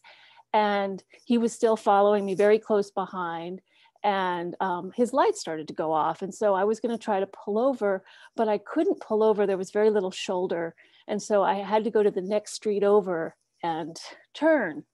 Um, and at that point, um, I noticed that his lights were flashing and he wanted me to pull over. There was no shoulder and I turned into the next street. Um, and then I waited and before he approached my car, but I saw through the rearview mirror that he was talking on his walkie-talkie, probably taking in my license number. Two minutes later, he came over to my car and said, driver's license and ID, please. And as I went to retrieve them, um, he said, you know, it's mass state law that you're supposed to stop for emergency vehicles and pull to the side immediately when they indicate that you should stop. I told him I was un unaware and I wanted to stop, but I couldn't turn over because there wasn't a place for me to turn. And he bellowed back, I decide where you should pull over, not you. I stayed quiet after that. I said I was sorry. He told me, do yourself a favor and get rid of all these prior registrations that I had given to him. I don't need any of these. Then he said he would be back in a minute. At that point, I called my husband because I was really scared, or I called him on, I texted him. He said, just get the ticket. Don't ask him any more questions. And I could feel his hostility, very red faced man. I have his name if anybody wants it. His name is um, Professor Slaughter. And um, he said, um, I, I had to ask him why, excuse me, sir, but why am I being pulled over? And he said, failure to stop at a stop, at a stop sign. He came back five minutes later with my ID and registration, turned the ticket upside down and warned me to stop immediately when an emergency vehicle wants to get past. Otherwise, you know what I would have to do to you. You know what I would have to do to you. I looked in shock. Was he saying he should shoot me or arrest me or convict me for fleeing from an officer? I decided to stay quiet and get a ticket. And I did go to court. I went to court the first time and I was interrogated by two police officers who sat me in a room by myself and made me tell my story, but they made me say I was guilty before I even said anything. So I couldn't really say anything. I was, I felt like I was being interrogated. And then I went back for my second hearing and the police officer was at the door of the courts. And as I was walking in, I had to pass right by him and he gave me this really dirty look. And I went into the court and he started chatting with the with the court judge and sat behind where the court judges were sitting. And then he came back out and sat down. But you could tell he was chummy with the with the judge. So all of these, I ended up having to pay over $250. I never got the courage to tell the judge how I felt intimidated by him because he read his own um, prediction of what had gone wrong and he was kind of angry in the court, but the judge just took what he said and I barely said anything. So I just felt like this whole experience made me realize that um, this isn't fair for anyone. It's, I bet it's less fair for people who are of color and I just wanted somewhere to tell this story, and I've never been able to tell it to anybody. So thank you for listening. I'm done. Thank you. Any other comments from the audience?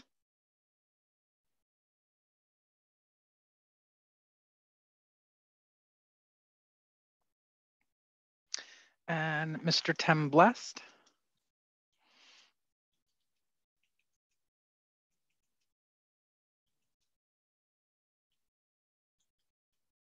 here. Hey everybody, good, uh, good evening. Um, thank you for doing this. Um, yeah, my uh, my first reaction is uh, I'm sorry you you had to go through through that. I just got a chance to hear the end of of the story. Um, um, and I apologize, I'm on my phone, so I can't see the name of the woman who just uh, spoke, person who just spoke. Um, but yeah, it's it's um it's really sad. I think the only thing I have to add um, to this conversation, I have a, a, a bunch to but I'm, I don't want to take too much time, is um, what I feel I've um, experienced. That's what I studied in uh, going to school at UMass Amherst um, and graduating with a degree in legal studies and also having survived a, a police attack uh, um, some years back is, you know, that this system. Mr. Bless. Uh, yeah. I'm sorry. Sorry about that. Let me see if that's that is is that better by any chance? Mm, it's better. A little better. Okay, great. So, sorry about that. Um, yeah, I, I have a house full of uh, kids here, and everybody seems to be on Wi-Fi right now. Um, so um, yeah, um, I don't know how much y'all heard, but I'll try to keep it brief by saying, you know, I went to UMass Amherst, got a degree in legal studies, have worked in the community as an activist and an artist, um, have survived a police attack myself some years back, and um, I really, oh my God, sorry. I'm sorry, y'all. I, I, just wanted to hop on this and uh, sorry for the technical issues, but um, you know, it's a systemic issue. And I guess I, I just want to cut to the chase and to say that, you know, we got to remember that we're all human beings here, all trying to uh, live our lives. And we all understand that police and court people and judges and all these folks um, are in positions of power, and, it, and it's great that you all have worked um, hard to get in those positions. but know that we're all human beings. You're you're human just like I am. And when someone is dealing with an issue like the woman who just spoke earlier and is is trying to tell her story, like have some compassion, man. Like, you know, like, you know, when I got charged and eventually, you know, all the charges were dropped and I was in the courtroom, it became really apparent to me and everybody else that was going through this experience that everybody knew what was happening. Everybody knew that these charges were, were fabricated by this police. Everybody knew that these police had assaulted me and they were, they were wrong. But it was almost like we had to go through this terrible movie, this terrible act. And the judge was there and the, you know, the, the district attorney was there and they all knew it. Like, you know, they had been through this already so, many times but for whatever reason, I had to go through this to prove some type of crazy point to them that, you know, like I guess I had to learn some type of lesson. But years later, the lesson is that, you know, police need to do a better job. They need to have more compassion. They need to have more training. They need to um, be trained in order to be police and not have this chip on their shoulder um, and need to really learn how to de escalate the situation because at the end of the day, there's so many people that have to deal with um, situations that they shouldn't have to. And luckily, I had the the words, I had the support of my family, I had the support of my community, and I had resources. But it cost me twelve thousand dollars. You know, I'll never forget that figure. Twelve thousand dollars for them to finally drop all the charges, and it cost me a lot. It cost my family a lot of, of time and anguish. And I bet you those police officers still working there, still continuing to do what what they're doing. And so the system has to change. Um, I'm I'm thankful for each and every one of you all that are in this in this call to do what you all are doing. And you know, to any police that might be listening to this, you know, if, if you're a good cop, like, you know, step up, have the courage um, to arrest. I, I'm, I'm waiting for the day when a police officer sees another police officer doing something wrong and actually arrests that police officer for committing a crime. That that will be the day when I, I feel like, you know, good police officers have shown up.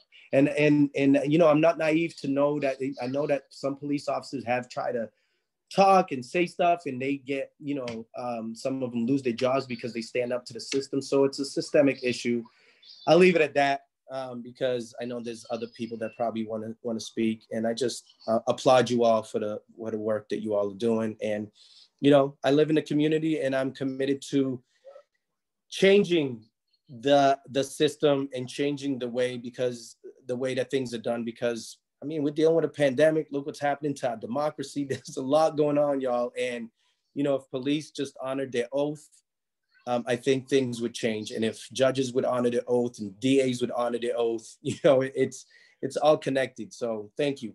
I'll leave it at that. Thank you very much. Appreciate y'all. Thank you. Are there any more comments?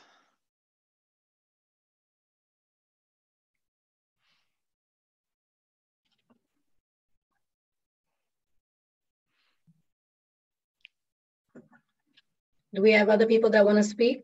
Ms. No, we don't at this moment. I was waiting to see if someone was going to raise their hands. So I was looking at the time as well and, oh, we have a hand raised. Mr. Ferreira?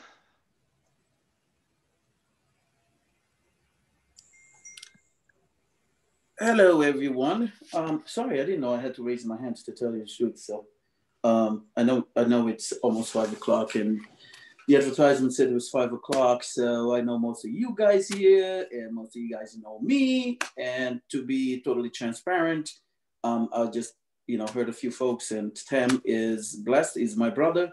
He just you know I'm not gonna change my name to Bless. I'm gonna keep it forever myself.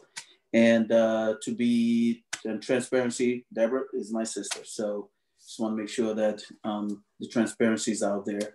But all you guys, um, most of the folks in here, I know them well, I know of them. So, and Pat was my daughter's first, you know, babysitter. so it's always good. And she's 29 by now, Pat. So to make a long story short, uh, I would echo what my brother said.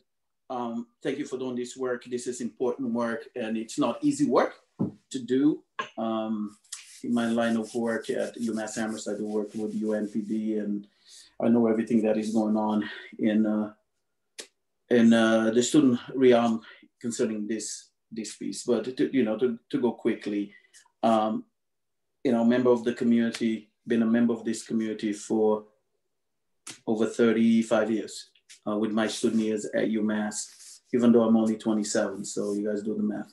Um, and oh, actually, I was also Jennifer Moiston's uh, advisor at one point. Yeah, there's a lot of connections in here. Um, so you know, I I have to say that uh, my experience with the police, um, personally, I have not I've not had an encounter with the police myself in this town, but as my brother has um, so eloquently stated, and a bunch of other people, um, they have had right and uh, and I know exactly what he's talking about because you know I social justice educator and we know that this is a systemic issue that needs to be changed. However, talking from my own experiences, I think that one of the reasons why I haven't had any um, problems in the community is because I'm relationship based, right? Um, that's why I know most of you guys. So a lot of people know me, right? And um, and most of the uh, the cops at UMass and in town know me, right? Um, and I say that not to brag. I'm saying that because I truly believe in community policing. You getting to know your community, right? Because it's a lot less. You're a lot less likely to harm someone that you know and you care about, right? Our police force should be community based with law enforcement powers and not the other, not the other way around, right? It should be actually serve and protect, not protect and serve, you know. Um, but right now, they're not even the way that things go on nationally is that we don't even seem like they're serving anyone these days, right? As per a lot of what we're seeing in the in the in the media these days, we have a police force, and I'm not saying this about MSPD, but I've seen it all around because I don't know all the the the training and the um, the stuff, the toys that MPD, uh, APD has, but we have a police force that is militarized, right? A police force that the training is straight up out of um, military tactics, and that has been going on for the longest time. We do also have um, a lot of times a police force that we do have, you know, for better for worse, a lot of veterans that come straight out of a military um, uh, system, right? And then when you bring people that come out of a military system and then you train them in military um, tactics, they're going to act like that, right? So, you know, training, training the uh, the way that the training has to be done has to change. We have over 18,000 police departments in this country. We have I don't know how many you know people in the police department, and if you go over all these 18,000 police departments in the country, each one of them may have a different type of training, right?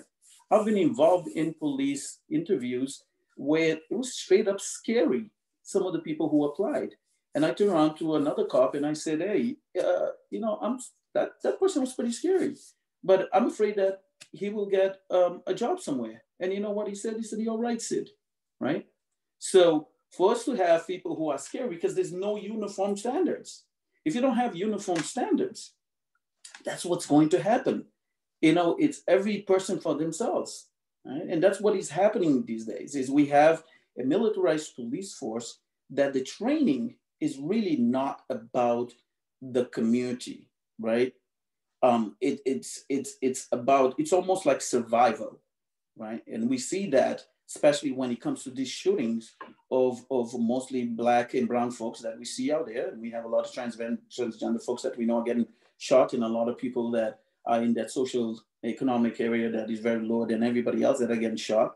And it's almost like a survival that the cops are going into certain situations expecting that they're going to draw the guns and that they, they're going to defend themselves so much so that anything in their hands become weapons but we all know who those people are, right? Because as we saw in the Capitol just a few months ago, there's a lot of people with a lot of stuff in their hands that did not get shot, right? So we know we know what that is. So again, training, training, training. Um, but for me, it's all about relationships uh, based. Some of you guys who are on, on this call know that I'm a huge, huge supporter of having um, our police force. You know, I'm pretty sure you guys are going to make a lot of recommendation. But if I could make one recommendation here myself, would be for us to have outreach um, um, police to, to all of the communities that we have in town. We have, I'm Cape Verde, we have a Cape Verdean community, we have a Cambodian, Vietnamese, Puerto Rican, uh, Dominican, Laotian, um, you Bhutanese, you know, Guatemalan, you name it. Yes, we need to have, you know, outreach, folks from the police to connect with these communities.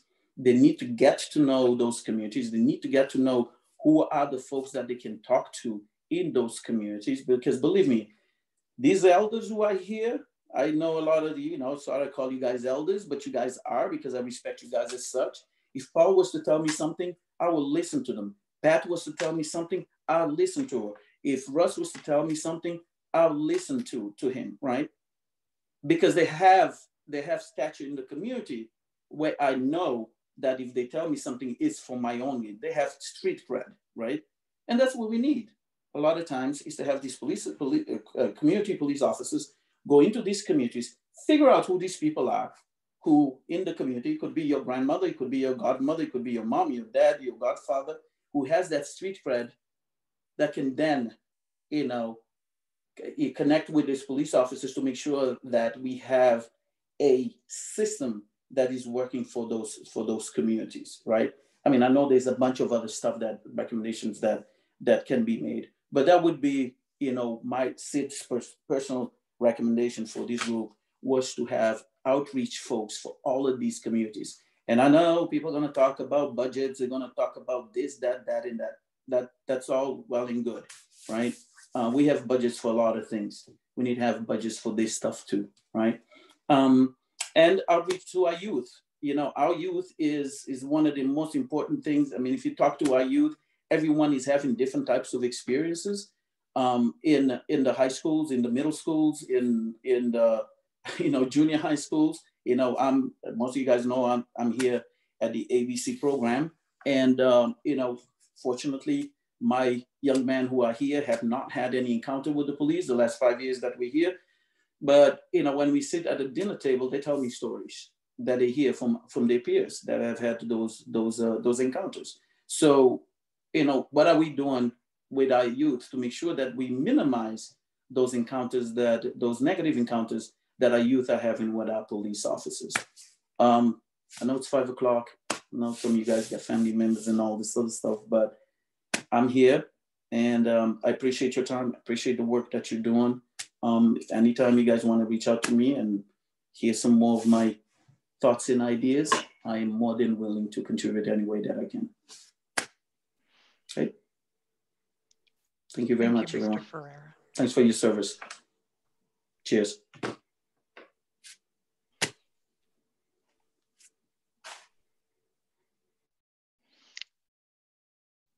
And Mr. Wiley? Oh, I believe Tashina had something to say.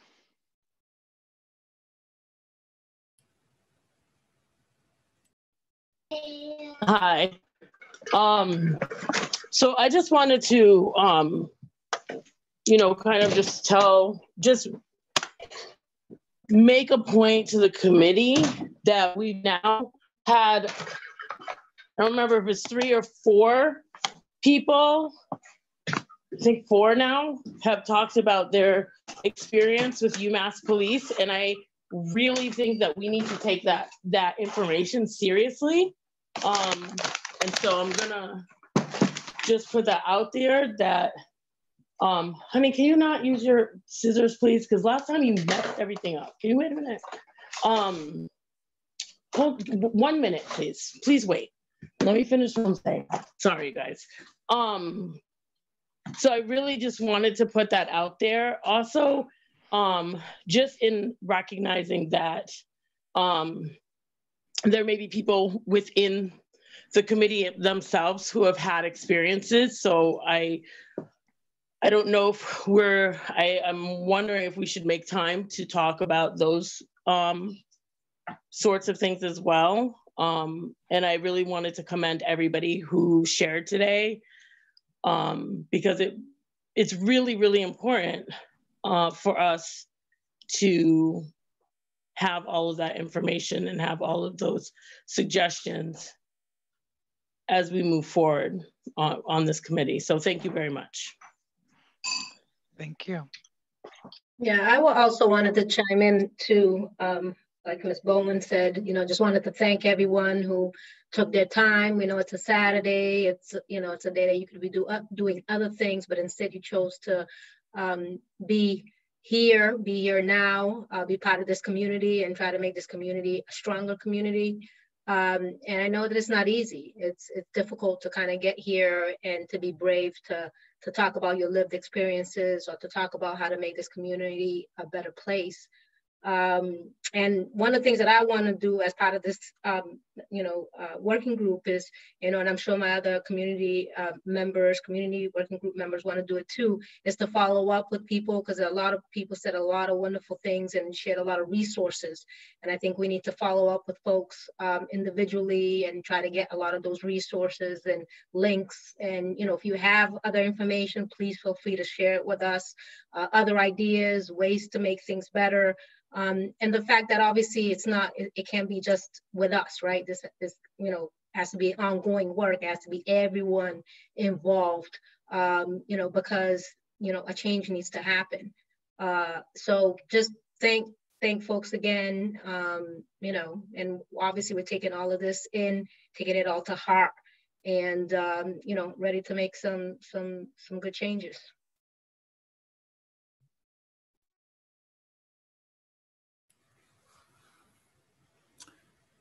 So Ms. Moyston, it's, it seems like we've come to the end of the, the time that people have wanted to make comment uh, with respect to the forum. I, I do want to defer to the, uh, you know, the working group at this moment uh, with um, respect to what uh, Ms. Ferreira said and Ms. Bowman had to say.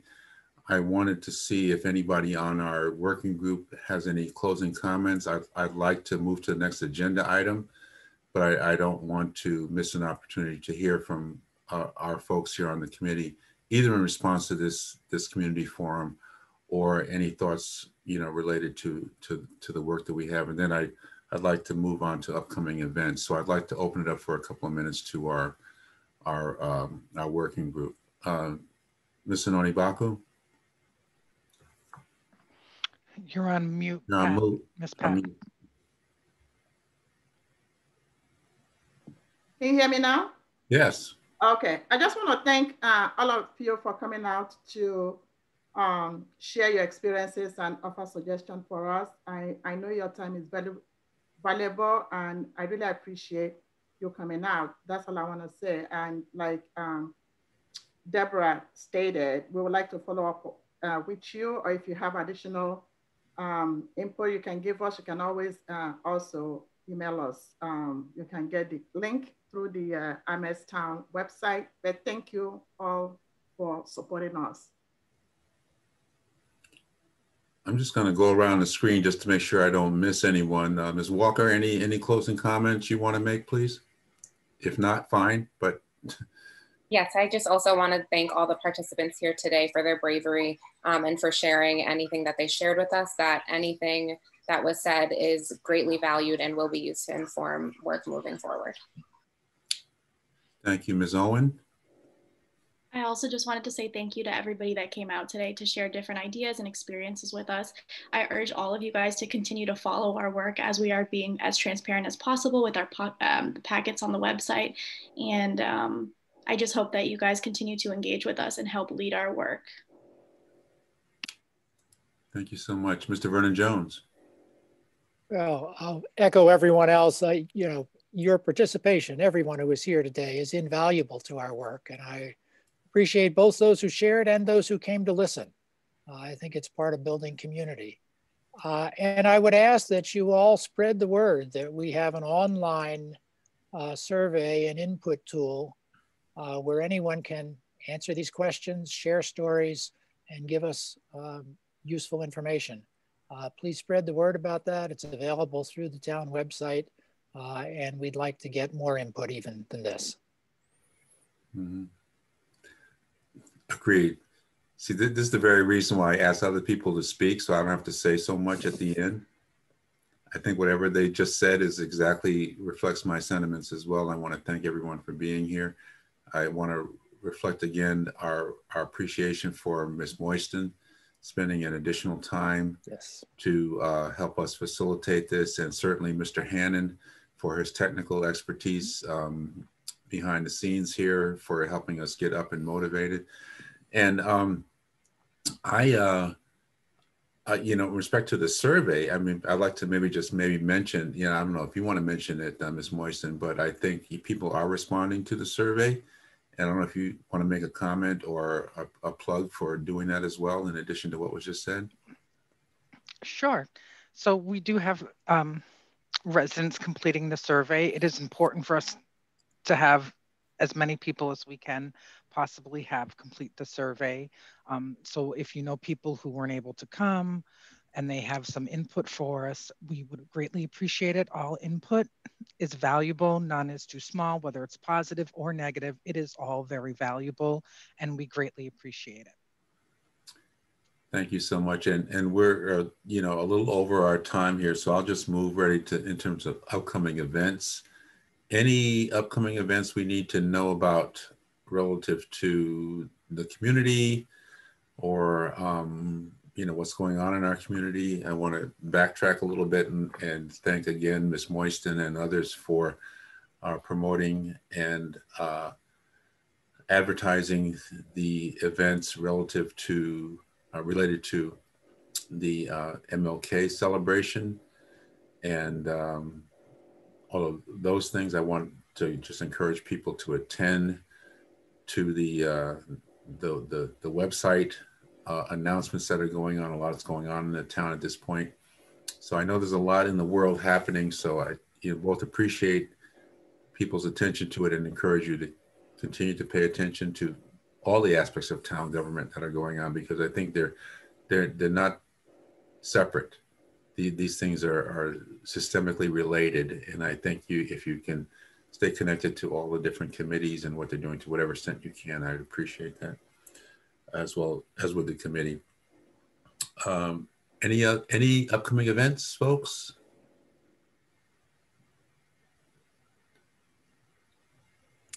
Well, not hearing Can it. clarify? Yeah. Yes. Can we clarify when the next meeting of this group is? What a great segue. That's the next, that's the agenda item next. Oh. Let me first uh, throw my uh, a caveat in here. Ms. Moyston sent an email to me on Thursday uh, saying that because of the holiday, we had to have agenda items on uh, available to her to post on Friday. My systems were not working well and I notified her later today. I all of a sudden got a barrage of emails that came in after the fact, and one of those was hers. So I missed an opportunity to post an agenda for Wednesday's meeting, which I think we were speaking about, which which begs the question of when would our next meeting be? And I'm asking the committee to possibly consider Thursday or Friday for a meeting, um, simply because a lot has gone on in the past week. We've met three times. We met on Monday, we met Wednesday, we met Saturday, uh, today in terms of our um, our forum, and we received a ton of feedback from our, our community. So if we could get a meeting in on Thursday or Friday of this week, um, my apologies again, but if we could make that accommodation, um, that would be great. We can get some more of our work done and do some updates into some things that we need to follow up that we've If asked for previously. If it's easy, mhm, if it's easier, I can send a, den- a doodle poll out on Tuesday, if that helps at all. I don't know. Well, since I said what I said, I'm, I'm open to whatever the, the- the group would like to do. If, if the doodle poll is something that would be easier for folks to manage at this point in time, uh, given that it's like 5:15 on a Saturday. I think What Ms. Pat what had her hand up. Ms. What is your Pat had her hand up. Excuse me? Yeah, yeah, I'm agreeing with um, Ms. Marston because we don't have Darius tonight. And he, he had conflict with time, uh, basketball or something like that. So yeah, I think we should you know, go with what Ms. Marston just suggested. If, does everyone else agree with that? If, if Ms. Moisey could send out a quick doodle poll and we can give her a really quick turnaround response to that, we can set up a, and perhaps, uh, Ms. Moyston, you could offer, you know, Thursday and Friday meeting times.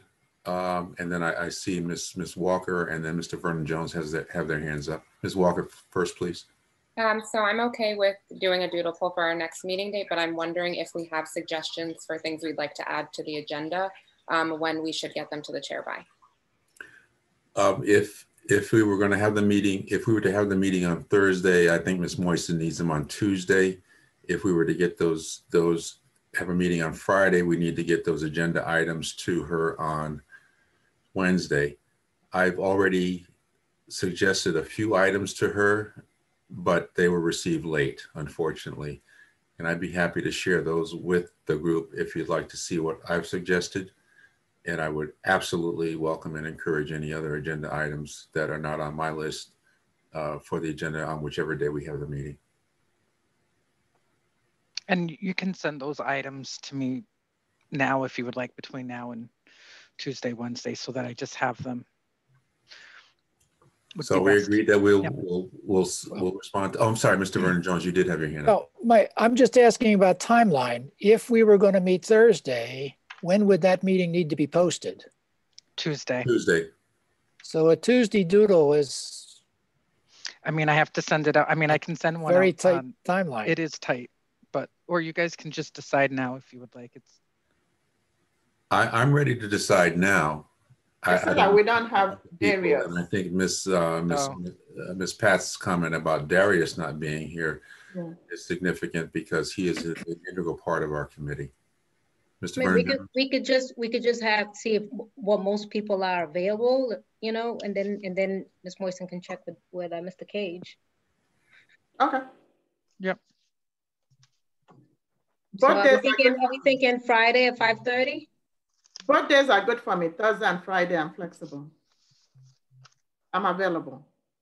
I can also be really flexible, so whatever works best for you guys. Yeah, I can do Thursday or Friday at five thirty. Okay. Are we gonna keep the same meeting time for five thirty? time wise, I think, and I'm speaking for people who are, you know, have seen 5:30 as an as entry point for these these types of meetings, as being the, the sort of the standard. Um, 5:30 either day could work for me. Friday is better for me than Thursday. Tashina? Tashina? Let me just. Uh, It doesn't matter to me. Okay. So let me, let me suggest five thirty at, uh, on Friday. And that we get our, our agenda items to uh, Ms. Moyston. I would, I would suggest tomorrow morning. And um, I will take responsibility for reading out, reaching out to, to Mr. Cage. Thank you. Does that, that sit well with everyone? Absolutely, yes. Yep. Okay. So in just keeping with the, uh, so we'll, we'll do, we'll do that and in keeping with the agenda. Our, so we've established our next meeting is to be determined and it, it, we already did it. We're going to say 5:30 on Friday. Uh, we'll get agenda items to, uh, Ms. Moyston uh, by tomorrow morning, and that'll be posted. Um, any other topics that did not come before uh, the, the chair within 48 hours?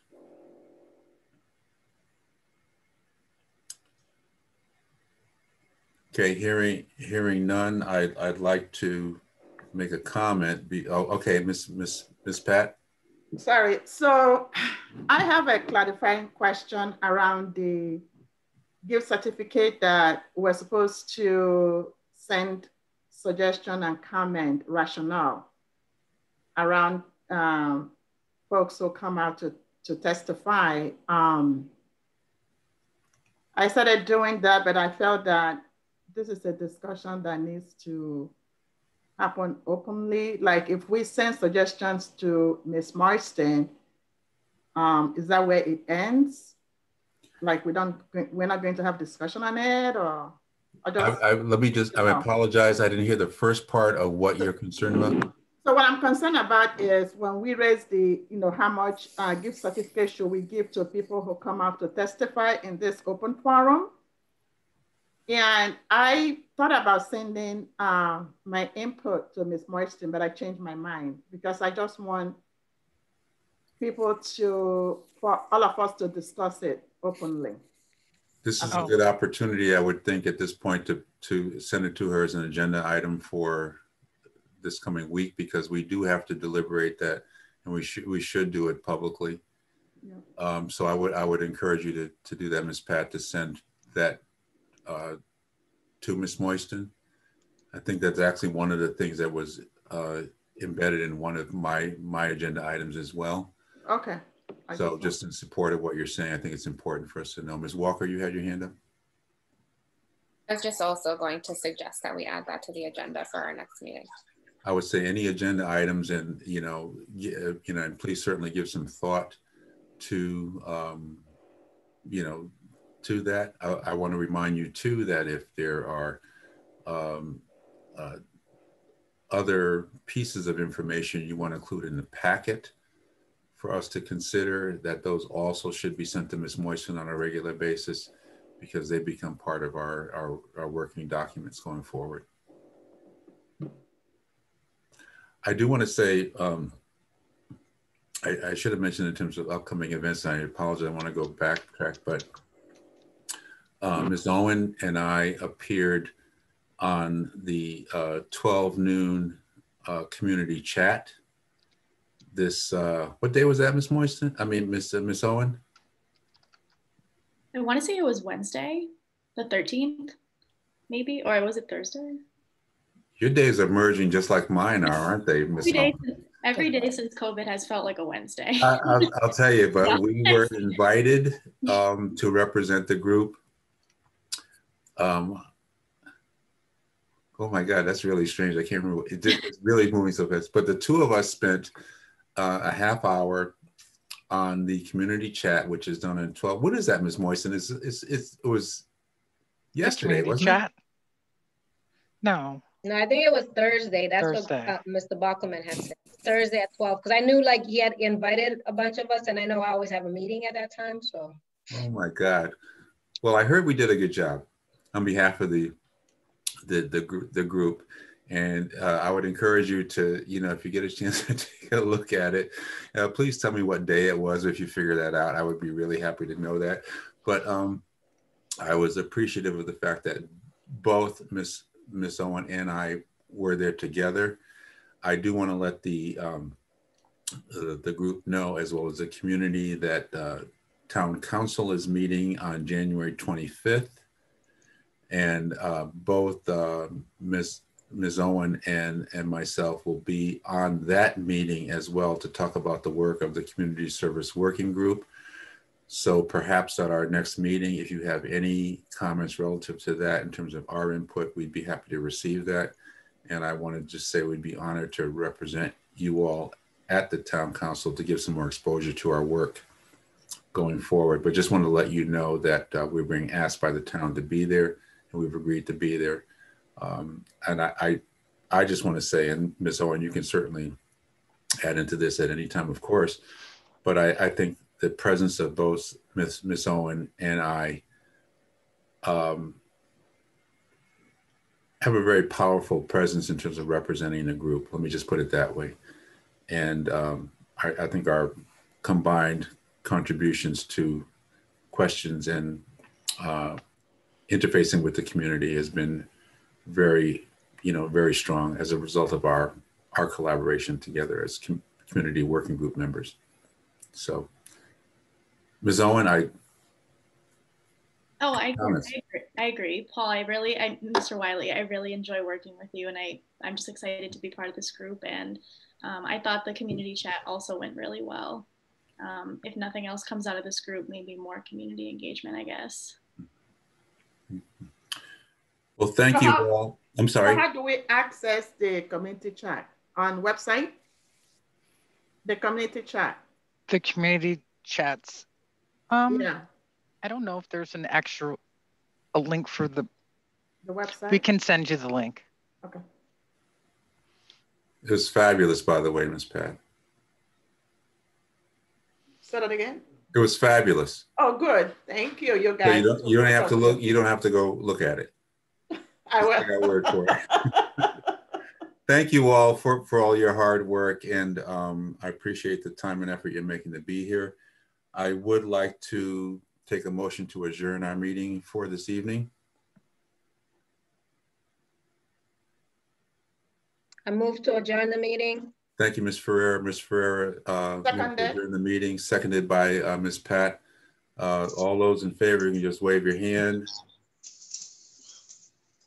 Thank you. Thank you for all your work. And uh, we will see you on screen next week. Bye-bye. Thank you. Have a good rest of the weekend. Bye, everyone.